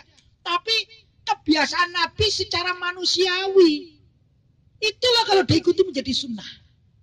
Kenapa yang tancap dahan kok dikatakan di baru sahabat tidak mengamalkan berarti haram begitu? Sempit. Saya tidak suka bilang bahlul itu, saya tidak suka. Walaupun mereka bahlul juga, saya tidak tahu juga. saya nggak suka sih. Jelas ya? Jadi bukan ada alasan, tidak ada alasan. Contoh begini, ringkas ya. Kebetulan ini kebetulan saya pergi ke sini bawa murid. Tidak? Kebetulan. Sampean mengaku katanya cinta sama saya misalnya. Mestinya bagaimana? Kalau sampean cinta sama saya, ikuti semua apa yang saya lakukan. Berarti sampean besok belilah jubah warna apa ini? Coklat. Belilah sorban yang ada merah dengan putihnya. Carilah sarung putih carilah peci yang demikian, carilah kacamata, maka sampean berpakaian seperti saya, kan gitu kan? Ya, sama ditanya ngapain gitu? Saya cinta sama Ki Lutfi. Kenapa? Saya kepingin persis foto persis seperti beliau. Itu kan kita menerima. Tiba-tiba ada Ustadz Alnof mengatakan, lo kenapa itu muridnya kok gak sama? Lo apa urusannya murid dengan perilakunya saya dengan yang sampean cintai? Gak ada urusannya. Betul? Kalau murid ini mengikuti seperti saya, ya bagus. Kan gitu. Kalau enggak, kebetulan sampean kepingin seperti saya. Kalau saya ada, Masya Allah kembaran saya ini, saya rangkul sampean. Kan begitu. Jadi kalau kita ketemu Nabi, kita berusaha melakukan yang dilakukan oleh Nabi. Walaupun misalnya para sahabat tidak melakukannya, misalnya. Itu karena kebodohan kita nggak ngerti apakah melakukan atau tidak. Ngajinya belum sampai ke sana. Ya. Tapi andai kata Nabi Muhammad tahu, eh Misalnya, kamu kenapa itu kok bawa bawa apa bunga? Gini loh ya Rasulullah, saya kepingin ngikuti engkau yang nancap dahan, tapi di sini di Indonesia nanam korma itu enggak tumbuh, kok cari dahan, enggak ada adanya bunga. Kira-kira oh Masya Allah, jadi kamu mengikuti aku sampai begitu. Kira-kira Nabi marah bunda? Masya Allah, jauh-jauh katanya tadi ceramahnya akhirnya adik kita Labib ya. Orang jauh mencintai Nabi yang tidak pernah melihat tapi mempelajari. Ingin sama persis seperti Nabi. Nabi rindu. Rindu kepada kita. Jadi Nabi itu rindu kepada alusuna wal jamaah. Loh kalau ada orang marah kepada amalia alusuna wal jamaah yang ingin mengikuti Nabi walaupun tidak persis karena bahannya tidak ada. Dikatakan ngapain? Itu akan dimurkai oleh Nabi. Eh, biarin itu, pecintaku itu. Kan begitu. Maka ada orang ditanya, apa dalil maulid Nabi? Apakah ada Al-Quran dan hadisnya? Saya membaca maulid Nabi tidak perlu pakai dalil Al-Quran dan hadis bukan berarti anti. Tidak. Saya baca maulid Nabi karena rasa cinta saya kepingin dekat dengan Nabi. Saya, saya pernah dengar satu hadis ya bahwasanya inna aulan nasi bi yaumal kiamah aktsarum aliyah solatan Sesungguhnya kelak di hari kiamat itu yang orang paling dekat denganku adalah orang yang paling banyak baca solawat. Terserah, saya mau tiduran baca solawat, berdiri baca solawat, ada majelis baca solawat, saya ikut. Maulid Nabi saya baca solawat, saya ikut. Kenapa? Saya cinta aja. Saya nggak tahu mau dikatakan kafir kayak mau dikatakan sesat, saya nggak tahu. Yang penting saya cinta Nabi. Kira-kira Nabi seneng nggak? Itu dalil kita. Ya, ittiba bin Nabi. Cuman itibanya tekstual atau kontekstual itu aja. Kalau kaku-kaku seperti Wabi tapi mereka melanggar sendiri. Mereka pakai celana pantolon katanya ngikuti Nabi. Padahal Nabi tidak pernah tidak pernah pakai celana pantolon walaupun dicingkrang-cingkrangkan kan gitu ya. Paham ya? Jelas? Baik. Ini ada pertanyaan agak apa? Agak banyak ini. Apakah Wahabi bermadhab Ustadz? Wahabi itu bermadhabnya Muhammad bin Abdul Wahab. Ya, mengikuti madhab syekhnya namanya Muhammad bin Abdul Wahab. Karena itu dipanggil Wahab. Wahabi. Apakah mereka bermazhab Hanafi? Tidak juga. Karena Imam Hanafi itu secara mutlak sama dengan Ahlus Jamaah. Secara akidah beliau bukan uh, imam yang mujassim. Apa mujassim itu orang yang menisbatkan jisim kepada Allah. Itu bukan. Imam Hanafi bukan begitu. Imam Maliki tidak juga, tidak sama dengan Wahabi. Karena Imam, uh, Imam Maliki juga bukan kelompok mujassimah. Apakah mengikuti mazhab Syafi'i? Karena mereka membaca Al-Um. Ya mungkin membaca tapi ya paling tidak judulnya mungkin ya tobak mana ya dah. Apakah full begitu? Ya enggak lah ya. Apakah ada orang hatam Al-Um itu seluruhnya? Oh besar kitab itu ya. Enggak juga. Mazhab Syafi'i, Imam Syafi'i bukan mujassimah. Apa mujassimah? Menisbatkan jisim kepada Allah. Apakah mengikuti Imam Ahmad bin Hambal? Hambali enggak juga. Imam Ahmad bin Hambal bukan kelompok mujassimah. Apa mujassimah? Menisbatkan jisim kepada Allah. Artinya kalau imam-imam empat itu ditanya, Aina Allah di mana Allah? Maka dijawab, Hada su'aluhu bid'atun. Ini mempertanyakannya saja bid'ah itu akidah alusunnah wal jamaah. Ya dah. Maka kalau tanya, terus bagaimana? Maka dijawab oleh empat mazhab itu, Allahu maujudun bila maka Allah itu ada tanpa tempat. Sedangkan Wahabi ini mengatakan Allah sekarang sedang duduk di langit. Jadi beda. Apakah bermazhab? Tidak juga. Siapa yang meyakini bahwa Allah itu duduk di langit? Pertama adalah Ibnu Taimiyah dilanjut lanjut lanjut lanjut sampai kepada Muhammad bin Abdul Wahab. Ya lanjut lanjut lanjut. Sekarang ada Wahabi Wahabi. Itu ya. Apakah Wahabi itu sesat? Ya sesat lah lawang orang benar mengamalkan Al-Quran hadis dituduh neraka ya dah. Masa seluruh dunianya mayoritas yang Nabi mengatakan alaikum bisawadil a'dom, Tidaklah kalian berpegang teguh dengan kelompok mayoritas. Yang kelompok mayoritas di dunia ini adalah seperti kita-kita ya ahli tahlil, ya ahli maulid. Kemarin itu kan bulan maulid 12 Rabiul Awal kita melihat beberapa video dari beberapa negara ya dah. Apa namanya itu selebrasi, selebrasi maulid Nabi kan gitu kan ya. Wah di dunia ini luar biasa. Bahkan di Moskow pun ada orang banyak maulid Nabi di mana-mana kan gitu. Masa mereka sesat semuanya? Logika dari mana ini logika jongkok namanya?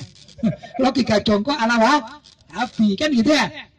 Jadi uh, apakah mereka sesat? Ya pasti sesat. Karena mereka melanggar kaidah mereka sendiri. Mereka bikin aturan, tapi mereka melanggarnya sendiri. Kata mereka, kami hanya pakai Al-Quran dan hadis. Begitu celana cingkrang, celanaan, tidak ada Quran dan hadis, diterobos saja berarti sesat mereka. Jelas ya? Dan masih banyak kesesatan-kesesatan Wahabi yang lainnya. Baik. Mengapa Wahabi yakin yang paling benar? Ya begitulah kelompok minoritas pasti merasa yakin yang paling benar. Itu namanya kelompok minoritas. Ya enggak? Nah, adapun setiap kelompok itu dikatakan wa kullu hisbin bima ladaihim farihun. Setiap kelompok itu pasti akan membanggakan diri terhadap kelompoknya masing masing. Kita membanggakan diri dengan kelompok kita alusna wal jamaah. Kenapa? Karena ada nas dari Nabi Shallallahu Alaihi Wasallam tadi dikatakan alaikum bisawadil a'dom. Tidaklah kalian berpegang teguh dengan kelompok mayoritas di dunia ini mayoritas. Ya masih kita lah alusna wal jamaah. Ya dah. Nah, di Riau ini masih mayoritas kita dah. Masih mayoritas. Berarti mereka kelompok minoritas. Ya.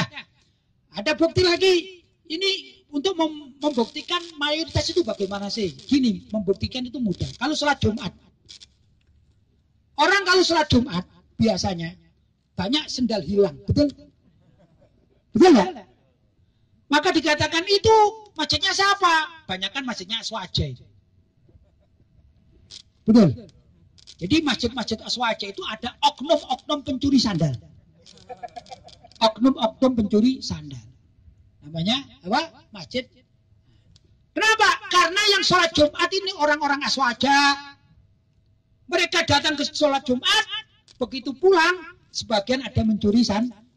Problem, kalau yang datang itu wahabi, datang ke masjid, itu wahabi, bukan aswaja. Pulang, ini jamaahnya pulang, masjidnya dicuri. Betul? Ada masjid aswaja. Kalau yang hadir mayoritas Ini aswaja yang sholat Jumat di situ, ada saja yang kehilangan sandal. Berarti ada maling oknum apa aswaja yang maling sandal, betul? Tapi kalau yang datang ini kelompok Wahabi masuk di situ, begitu selesai sholat, jamaah aswaja pulang, eh tiba-tiba masjidnya dicuri sama Wahabi. Jadi pencuri-pencuri masjid itulah Wahabi. Saya tanya sekarang di seluruh pulau, ah, seluruh provinsi Riau, ada enggak masjid aswaja yang dicuri oleh orang Wahabi? Tapi kan masih minoritas kan? Minoritas itu menanya minoritas, namanya pencuri. Tidak mungkin pencuri itu rombongan seluruh negara ini pencuri semua, tidak mungkin. Pasti pencuri itu minoritas, entah itu pejabat, entah itu uh, masyarakat, entah itu Wahabi, namanya minoritas. Orang lebih banyak adalah orang yang paling baik. Katakan alaikum bisa wadil a. Jelas ya itu dan mengaku paling sunnah. Sunnah dalam bidang apa? Mereka itu pelanggar sunnah kok. Iya saya katakan mereka itu pelanggar sunnah. Apa contohnya? Terawih. Saya tanya Wahabi yang ada di masjid-masjid itu terawihnya kalau Ramadan dari awal Ramadan sampai akhir Ramadan terawih enggak mereka? Itu pelanggar sunnah pak. Nabi cuma tiga hari sholat terawih. Yang sholat terawih banyak itu zamannya Sayyidina Umar kok mengumpulkan sholat sunnah terawih dari awal uh, tanggal 1 Ramadan sampai akhir Ramadan itu Sayyidina Umar bukan Rasulullah. Jadi mereka pelanggar sunnah enggak? Pelanggar sunnah pura-pura ahli sunnah. Ya, ya, pelanggar sunnah sebenarnya mereka. Baik. Apakah Wahabi itu sama dengan Salafi? Nah, sinonim ibu-ibu. Ya, sinonim. Persamaan kah? Baju dengan pakaian itu apa bedanya? Baju itu ya pakaian, pakaian itu ya pak. Baju sama. Wahabi itu ya salafi, salafi itu ya wahabi. Mereka itu malu yang di Indonesia dipanggil salafi. Kenapa sih? Kalau kita baca sejarah wahabi, seperti yang ditulis oleh ulama Mekah, namanya Sayyid Ahmad Zaini Dahlan, gurunya Abu Yazid Muhammad bin Ali Al-Maliki, guru saya, berarti kakek guru saya, ada sejarah tentang Wahabi tulis beliau bahwa Wahabi ini adalah orangnya ekstrim, suka membunuh umat Islam, begitu ekstremis pokoknya. Daesh, teroris-teroris memang dari Wahabi biasanya. Ya, itu begitu. Ada sejarah. Maka sejarah kelam itu sudah dibaca oleh orang aswaja mereka malu jangan kami dikasih tahu uh, diberi nama Wahabi kita pilih Salafi aja lah gitu. Itu permintaan mereka. Urusan mereka tetap mereka itu seperti seekor anjing dia menggonggong huk huk huk huk terus ada yang bisa bicara Pak aku jangan dipanggil anjing dong panggil aja kambing ya kita tetap yang menggonggong namanya anjing kayak gitu kan ya? Maka itu kalau kita katakan kita ini ahli maulid kita ahli tahlilan kita katakan biarkan wahabi wahabi itu menggonggong kita tetap baca maulid nah. Biarkan wahabi wahabi itu menggonggong kita tetap tahlilan begitu ya dah maka dikatakan apakah Wahabi sama dengan Salafi? Kembar siam? Baik, apakah beda Wahabi dengan Syiah? Kalau Syiah itu ada di zaman uh, peralihan ya, di zamannya Sayyidina Uthman peralihan sebagai khalifah kepada Sayyidina Ali bin Abi Thalib sudah mulai ada benih-benih Syiah, yaitu seorang Yahudi yang pura-pura masuk Islam namanya Abdullah bin Sabah. Ya. Kemudian dari Abdullah bin Sabah itu mengatakan gini aja orang Islam itu paling senang dengan ahlul bait keluarga Nabi. Maka kita jadikan satu kelompok penyembah ahlul bait. Maka Syiah itu penyembah ahlul bait, bukan ahlul bait. Saya katakan ahlul bait itu seperti Sayyidina Isa bin Maryam. Saya tanya, Nabi Isa disembah oleh orang-orang Nasrani itu Nabi Isa salah atau tidak? Ingkun tukul tahu fakot alimta. Kalau aku mengatakan seperti itu, minta disembah oleh mereka. Fakot alimta, engkau maha tahu ya Allah. Aku bukan begitu, kata Nabi Isa. Alul bait keluarga Nabi itu tidak mau disembah. Tidak mau dikoltus-koltuskan. Tapi oleh Abdullah bin Sabah, orang Yahudi yang pura-pura masuk Islam, melihat sikon ini ada sesuatu yang celah yang bisa dimasukin. Maka mereka, uh, Abdullah bin Sabah membuat satu kelompok yang akhirnya diberi nama Syiah Ah kasarnya begitu. Berbeda dengan Wahabi, Wahabi itu secara apa ya garis pelajaran ilmunya diambil dari Ibnu Taimiyah. Ibnu Taimiyah itu mungkin lahir sudah abad-abad kelima. Kalau Syiah ini masih abad-abad pertama masih ya. Jadi berbeda ya. Kesesatannya juga berbeda. Kalau Wahabi mentakwil-takwili Al-Quran hadis mau sendiri, kalau Syiah merubah-rubah Al-Quran. Berani mereka. Baik. Nah. Uh, coba ringkas saja, nggak usah dibaca. Apa pertanyaannya gimana? Oh, oh ya, meng mengambil berkah dari para wali gitu ya. Kita ini diperintahkan oleh Nabi, maaf, kita ini diperintahkan oleh Nabi, oh, kita diperintahkan oleh Allah untuk mengambil berkah dari Nabi. Apa itu dengan ziarah kuburan Nabi? Ya, apa berkahnya agar kita mendapatkan ampunan, berkah ampunan dari Allah, kita diperintahkan untuk ziarah makam Nabi, itu Al-Qur'an. Walau annahum idzalamu anfusahum ja'uka fastaghfirullah wastaghfarallahumur rasul lawajadullah tawwabar rahimah. Kita diminta atau diperintahkan untuk ziarah makam Nabi. Ngapain? Ngambil berkah. Biar apa? Biar diampuni oleh Allah. Caranya apa? Walau annahum idzalamu anfusahum tatkala mereka orang-orang Islam itu banyak berbuat dosa dan maksiat-maksiat seperti kita. Kita ini kan ahli maksiat ya. Banyak maksiat-maksiat kita lakukan betul? Maksiat mata di medsos banyak maksiat di pasar banyak dan lain sebagainya. Maka kita diperintahkan atau dianjurkan datang ke makam Rasulullah. Ngapain? Ngambil berkah. Biar apa? Tatkala kita masuk berada di depan makam Nabi, kita beristighfar kepada Allah. Astagfirullah, astagfirullah di hadapan makam Nabi ini aku beristighfar. Maka Nabi yang hidup di alam barzah itu mendengarkan. Maka Nabi pun memohonkan ampun kepada Allah untuk kita yang ziarah. Karena itu Allah mengatakan lawajadullah tawabar rahimah. Orang-orang itu seperti kita-kita pasti mendapati Allah dalam keadaan maha pengampun. Demikian juga kita mengambil berkah kepada para wali. Kenapa kok wali? Karena mereka ini dekat dengan Allah. Kenapa kita mengambil kepada Nabi? Ya karena Nabi itu adalah utusan Allah. Maka kita yakin itu sampai kepada Allah Subhanahu wa taala dan mendapatkan berkah. Baik. Yang kedua, apakah boleh makam pekuburan ditinggikan seperti makam para wali? Kalau di tanah pribadi itu boleh atau di tanah pemakaman umum untuk seorang yang muzar yang diziarahi oleh umum untuk kepentingan umum maka boleh. Yang tidak boleh itu manusia biasa nggak punya prestasi, ya dah. Bukan ditanam di makam sendiri, misalnya ditanam di alun-alun sini, ditinggikan kan mengganggu. Jadi karena mengganggu masyarakat yang hidup itu masalahnya, maka dilarang. Larangannya pun para ulama juga berbeda pendapat apakah larangan makro atau haram. Kan begitu. Kalau di tanah pekuburan umum yang masih diperlukan untuk ah, mayat-mayat jenazah yang lain, hukumnya bisa haram. Apalagi tanahnya itu menggosok maka jadi haram. Ya dah.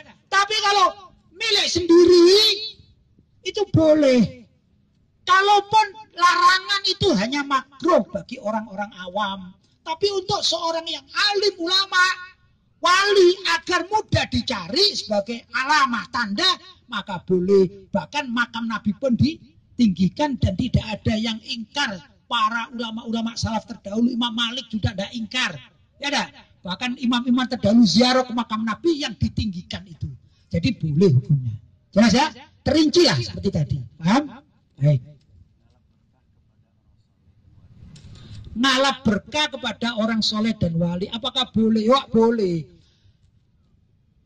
Rasulullah perintah kepada Sayyidina Ali bin Abi Thalib apa Sayyidina Umar ya? Sayyidina Umar dengan Sayyidina Ali bin Abi Thalib kalau tidak salah ya. Untuk menemui yang namanya Sayyidina Uwais Al-Qarni. Sayyidina Umar. Sayyidina Umar ya, Sayyidina Umar dan Sayyidina Ali ya yang melaksanakannya. Baik. Rasulullah itu mengatakan bahwa ada seorang yang belum pernah bertemu denganku namanya Mukhadram. Hidup di zamannya Rasulullah? Ya ada tidak berjumpa Rasulullah. Itu namanya Uwais Al-Qarni itu doanya sangat dimakbulkan oleh diterima oleh Allah SWT paham ya? Maka Rasulullah perintah hei Umar hei Ali kalau engkau ketemu orang ini engkau minta doa minta berkah. Tatkala Rasulullah wafat Maka Sayyidina Umar bin Khattab menjabat menjadi khalifah setelah Sayyidina Abu Bakar. Beliau melaksanakan setiap ada orang yang datang dari Yaman ditanya, ada enggak di antara kalian namanya Uwais Al-Qarni? Suatu saat ada rombongan ternyata ada Uwais Al-Qarni di situ. Ya, Sayyidina Uwais Al-Qarni akhirnya datanglah Sayyidina Umar dan Sayyidina Ali bin Abi Thalib minta, wahai uh, wahai Uwais Al-Qarni doakan kami karena kami diwasiati oleh Nabi agar kami kalau ketemu engkau minta doa keberkahan Loh berkah ini Wes Akor ini orang soleh. Kenapa? Apakah alim? Bukan. Sina Wes Akor ini bukan orang alim seperti ulama. Bukan. Cuman beliau ini luar biasa. Senantiasa, senantiasa khidmat kepada ibunya. Berkorban kepada ibunya. Untuk ibunya. Sampai-sampai tatkala beliau ingin jumpa Nabi. Tapi ibunya itu bilang. Nah kalau engkau pergi ke Medina terus aku sama siapa? Aku nggak ada temennya. Aku bisa mati kelaparan. Kasarnya begitu. Ya enggak? Maka digagalkan. Ya Allah, aku tidak bisa sampai kepada Nabi Muhammad walaupun aku rindu karena aku punya kewajiban menjaga ibuku. Tapi masya Allah Rasulullah wafat dulu baru ibunya sehingga Sayyidina Uwais al ini tidak sempat bertemu dengan Nabi. Tapi Allah ya perintah kepada malaikat Jibril memberitahukan kepada Nabi Muhammad itu loh ada orang umatmu namanya Uwais al kalau berdoa tembus langit. Ya, tembus maka Nabi Muhammad wasiat kepada Sayyidina Umar dan Sayyidina Ali bin Abi Thalib. Lihat, Sayyidina Abu Sayyidina Umar dan Sayyidina Sayyidina Ali bin Abi Thalib ngalap barokah kepada orang yang bukan sahabat. Berarti boleh apa enggak? Boleh dengan dalil ini, Boleh. Jelas ya? Baik.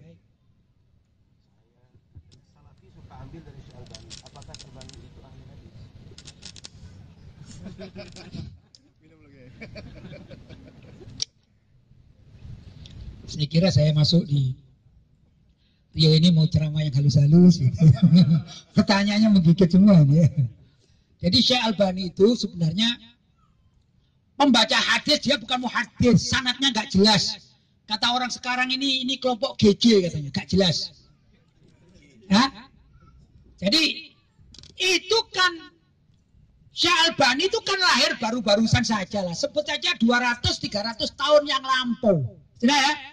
Sedangkan Imam Bukhari, Imam Bukhari itu ya apa lahirnya atau keberadaan Imam Bukhari itu barangkali abad sebut saja abad ke tiga ya. Jadi 300 tahun setelah Nabi wafat sebut begitu. Sudah? Itu sudah selesai. Hadis dibahas oleh zamannya Imam Bukhari, ada Imam Muslim, ada murid-muridnya seperti Imam Ibnu Majah, Imam Tirmidzi, itu sudah selesai tuntas dibahas pembagian hadis. Selesai tuntas. Dan hadis itu kan terbatas soalnya Nabi kan sudah wafat. Tidak bisa nambah hadis kecuali hadis palsu. Ya dah. Tiba-tiba setelah abad keempat, kelima, keenam, ketujuh, kedelapan, kesembilan, kesepuluh. ya tujuh ratus tahun lah. Anggap saja ke-10 ya. Sekarang berapa belas? ya Ke-11, kedua belas setelah 12 tahun muncul namanya Albani. Apa? 12 abad. 12 abad. Setelah 12 abad muncullah seorang namanya Nasiruddin Al-Albani, seorang yang ahli merancang atau bengkel jam tangan. Ahlinya, keahliannya. Ya juga suka belajar baca, baca-baca sendirilah hadis-hadis tiba-tiba menjadi seperti zamannya Imam Bukhari mengatakan ini hadis sohe, ini hadis doef, ini hadis maudhu. Padahal di kitab-kitab terdahulu sudah ada. Ini kan ngelendur namanya. Apa ngelendur? Bangkong. Apa? Bukan orang yang bangun tidur kesiangan. Mengigau. Mengigau. Coba gini ya. Dulu ada seorang alim namanya Abul Ala Al Ma'ari. Abul Ala Al Ma'ari. Orang alim hebat. Dia selalu menantang.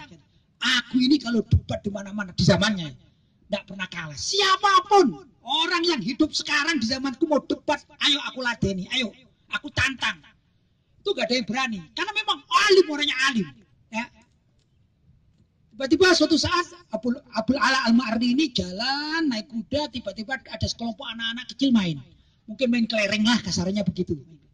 Sudah, katanya teman-teman, eh ini ada orang hebat, Abul Ula Al-Ma'arri atau Abu Abul Ala Al-Ma'arri ya. Ayo nyingkir, semuanya menyingkir, ngasih jalan. Kecuali anak ada satu kecil. Tante dia dia, ini katanya lakonnya ini ya. Santai dia main kelereng. Akhirnya ditegur sama Al-Ma'arri. Eh anak kecil, kamu tidak tahu siapa aku. Aku mau lewat sini, kenapa kau gak menyingkir seperti kawan-kawanmu? Ditengok. Oh kamu Abdul Ala Al-Ma'ri. Ya aku orangnya. Aku tahu dengar katanya kamu ini yang menantang-nantang ulama-ulama itu ya. Iya benar. Siapa pun ulama sekarang ada nantang aku, pasti aku ladeni, pasti aku cepat. Dan aku yakin tidak akan kalah. Karena memang alim orang. Baik. Baik, kalau gitu aku bertanya. Sanggupkah engkau, hei Abul Ala Al-Ma'ri, menambah satu huruf hijaiyah? Huruf hijaiyah kan alif, ba, tak, sa, jim, ha, ho, dal, dal, ro, zai, sampai ya. Yang dulu sudah pernah dikarang oleh ulama-ulama zaman dahulu kala. Engkau tambahi satu yang berbeda, satu aja, tambahi. Mampu tidak kira-kira? Yang diterima oleh umat seluruh dunia. Tidak mampu. Ya, Ternyata enggak mampu. Ya, ini orang dikatakan alim tapi tidak mungkin menguasai semua ilmu itu tidak mungkin. Wa fauqa kulli ilmin alim. Ya enggak? Enggak mungkin. Wa fauqa di atas orang yang alim itu pasti ada orang yang lebih alim daripada dirinya. Ya, itu begitu. Tadi pertanyaannya gimana? Yang tadi itu tadi.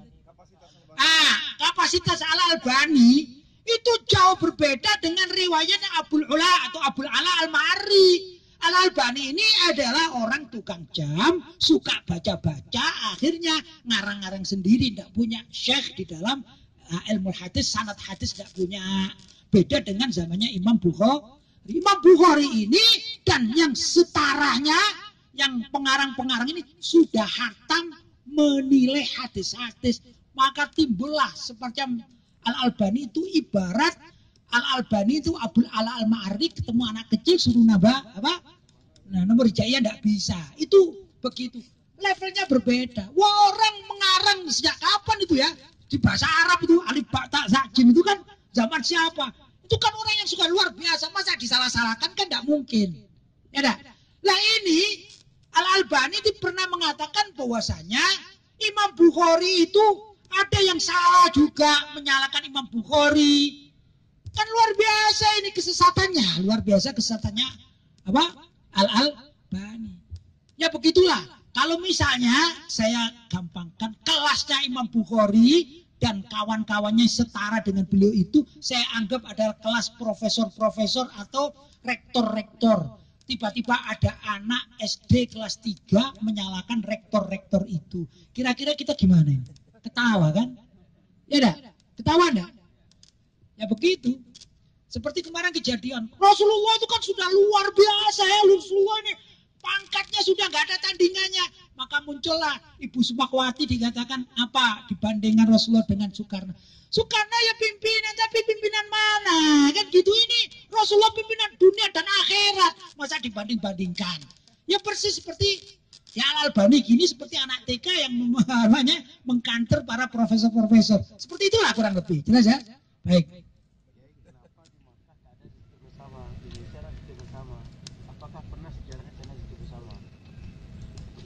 Kenapa di Mekah tidak ada zikir bersama? Siapa bilang? Saya tiap hari zikir bersama di Mekah. di Rusaifah zikir bersama. zikir bersama. Bahkan kalau malam malam takbiran, malam takbiran ini malam apa namanya? Idul Fitri itu zikir bersama takbiran bersama. Zikir di Masjidil Haram. Itu namanya zikir bersama. Dan itu zikirnya dipimpin oleh orang satu, tidak bisa. Walaupun yang melakukan wahabi nggak bisa menurut mereka. Kenapa? Karena mereka lagi asyik. Paham? Zikir itu apa sih? Ya takbir. Allahu Akbar, Allahu Akbar, Allahu Akbar. Zikir. Itu ada. Coba kalau tidak percaya, klik YouTube, ditulisi takbiran di Masjidil Haram. Itu bersama kok. Sama bilang nggak ada, cuman tidak di bid'ah-bid'ahkan oleh mereka karena yang melakukan mereka sendiri. Ya, ya? Baca salawat lagi, pakai Sayyidina lagi ya. Iya. Pokoknya ada, di sana itu ada. Cuman yang dikenal oleh kita dianggap semua Saudi itu Wahabi enggak. Tokoh-tokoh Wahabi banyak di Saudi, tapi Alusuna wal Jamaah juga banyak di sana. Ya, yang tahlilan saya sering kok ikut hadir tahlilan diundang masyarakat sering bersama guru saya. Banyak. Mungkin gini ya, zamannya Pak Harto dulu yang namanya pernah terjadi yang namanya Departemen Agama itu pasti Muhammadiyah. Dulu pernah. Yang namanya pegawai Departemen Agama itu zaman dahulu pasti Muhammadiyah zamannya Pak Harto. Ya. Sedangkan masyarakatnya adalah masyarakat NU. Kan begitu zaman dahulu kala. Maka kalau ada Masjid NU minta uh, rekomendasi khotib dari Departemen Agama, dari debat biasanya dikirim khotib Muhammad dia. Artinya zaman itu orang Muhammadiyah duduk di pemerintahan, sedangkan masyarakatnya masyarakat NU. Kurang lebih begitulah sekarang ini. Sekarang ini atau di Saudi itu yang duduk di pemerintahan adalah tokoh-tokoh Wahabi, sedangkan di masyarakat adalah tokoh-tokoh Aswaja. Tapi sekarang sudah petanya berubah sejak Salman sudah mulai kekuatannya menurun diganti dengan Muhammad bin Salman, maka orientasi Muhammad bin Salman bukan lagi pada Wahabi, tapi kepada sekularisme atau liberalisasi ya di Saudi. Bahkan sebagian dari mereka yang melarang-larang melarang-larang maulid sudah dilarang. Tak boleh. Biarkan saja yang maulid. Coba tapi ada runyannya juga. Diskotik jadi boleh. Repot ini ya. Wahabi dilarang tapi diskotik jadi boleh. Melawan Wahabi susah, melawan liberal juga susah. Itulah kita kejebet senantiasa sampai di Indonesia juga demikian ya kondisinya. Baik. Di masjid itu kadang amalan salafi, kadang amalan sunnah. Ada pengajian salafi, ada sunnah. Ada masjid yang toleransi, gitu ya. Sehari mengundang tokoh Sunni, sehari mengundang Wahabi, gitu gimana gitu. Pertama, kalau takmirnya kuat sih ya ada lumayan, tapi kita ini bisa dikatakan seperti tadi kalau ada orang aswaja pulang dari sholat Jumat yang hilang adalah sandalnya. Tapi kalau ada orang Wahabi pulang dari sholat Jumat yang hilang adalah masjidnya dikuasai Wahabi. Enggak khawatir dah. Enggak khawatir dah. Ya dah. Nah, kita kita dalam kitab ada pencuri kan? Pencuri namanya Aswaja, pencuri sandal. Pencuri namanya Wahabi, pencuri masjid. Ya, namanya sama-sama pencuri kan gitu kan ya. Mending mana? Kita kehilangan sandal atau kehilangan masjid? Mending mana? Kalau gitu jangan dikasih kesempatan. Kalau dikasih kesempatan lama-lama suninya yang digeser. Begitulah biasanya kenyataannya seperti itu ya. Jadi bukan persatuan-persatuan, begitu. Itu kadang-kadang masjid milik kita, tapi diambil alih. Itu yang terjadi. Baik. Nah, terakhir. Nah, saya ini saya ijazah seperti yang saya ijazahkan kepada Ustadz Abdul Somad ya, namanya baca wirid sakron. Kenapa kok saya suka wijaya, uh, ijazah wirid sakron? Pertama, banyak riwayat bukan riwayat. Saya itu punya kejadian-kejadian yang saya alami sendiri. Ini bisa di sini cari ya. Ya ini perbanyak saya ini pernah membaca tidak sengaja waktu mau debat dialog dengan orang Syiah di suatu tempat maka saya berangkatnya itu naik mobil. Nah, saya baca wirid sakron. Karena mau dia debat itu masih muda saya ya. sekarang sudah lumayan agak tua-tua sedikit ya. Saya 55 ya karena agak tua gitu ya. Walaupun casingnya masih 15 ya ada jadi waktu saya usia kurang lebih 30 tahun, 30 tahun itu saya mau debat dengan orang Syiah. Yang namanya masih pemuda, ya ada takutnya, bukan takut Syiahnya, takut bagaimana diserang atau apa kan gitu. Maka saya baca wirid sakron, wirid terus di mobil ini, wirid wirid berkali-kali gitu. Satu kejadian ini kaca yang di depan saya ini meledak. Sedangkan yang ikut saya itu menyaksikan. Katanya, katanya ini ada cahaya yang keluar dari wajah saya atau dari mata saya menembus ke kaca itu. Dan lucu, kalau misalnya ada batu dari luar, kena kaca itu kan batunya ke dalam. Dan serpian kaca ke dalam. Ini enggak, serpian kaca keluar semuanya. Saya nggak tahu apa-apa. Cuman kita menjerit semuanya kan, bak, begitu. Allah, gitu. Maka yang ikut saya ada laki-laki dan perempuan juga, ada rombongan ya, family masih kan. Itu mengatakan kenapa di matamu atau di wajahmu kok keluar sinar. Saya nggak paham. Ringkas cerita ya Ikhwan, saya kemudian singgah ke rumah salah seorang kiai sepuh, kawan saya di Mekah tapi lebih sepuh beliau. Saya cerita, saya kena musibah, mobil saya ini pecah kacanya sehingga malam hari itu sehingga saya minta bermalam di rumah beliau. Akhirnya cita-cita kata beliau gini, kamu panggil saya Ustadz gitu ya, karena saya masih muda sekali waktu. Kamu hai Ustadz, kalau baca wirid sakron jangan banyak-banyak. Wirid sakron itu sifatnya panas. Kalau terlalu banyak meledak. Ini kejadiannya meledak. Jadi saya ada riwayat sehingga terkenang terus itu. Ya ada, sampai kapan pun terkenang kan gitu. Dan itu wirid yang paling saya senangi itu. Karena ya karakter saya suka perang pemikiran, jadi saya juga harus membentengi diri kan begitu ya. Nah, tatkala uh, uh, Ustadz Abdul Somad minta ijazah ini dan ini dan itu saya kasih, enggak usah, saya ini aja ijazah antum baca surat uh, wirid sakron ya, cuman sehari sekali. Niatnya bukan diritualkan tapi niat untuk tabarukan, untuk penjagaan. Ya, jadi saya ijazahkan pada antum untuk baca wirid sakron seperti Abu Ya dulu mengijazai kami-kami dan saya juga secara khusus pernah diijazai wirid sakron dan saya mengamalkan sehari sekali seperti waktu di Mekah.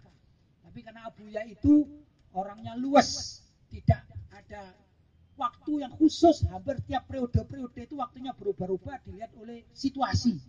Maka kami di pesantren di Singosari mengharuskan para santri membacanya itu Ba'dal Isya karena waktunya ada luang sedikit.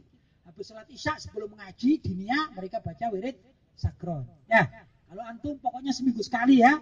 Eh maaf, sehari sekali. Saya tidak merekomendasikan sehari dua tiga kali. Karena ini panas.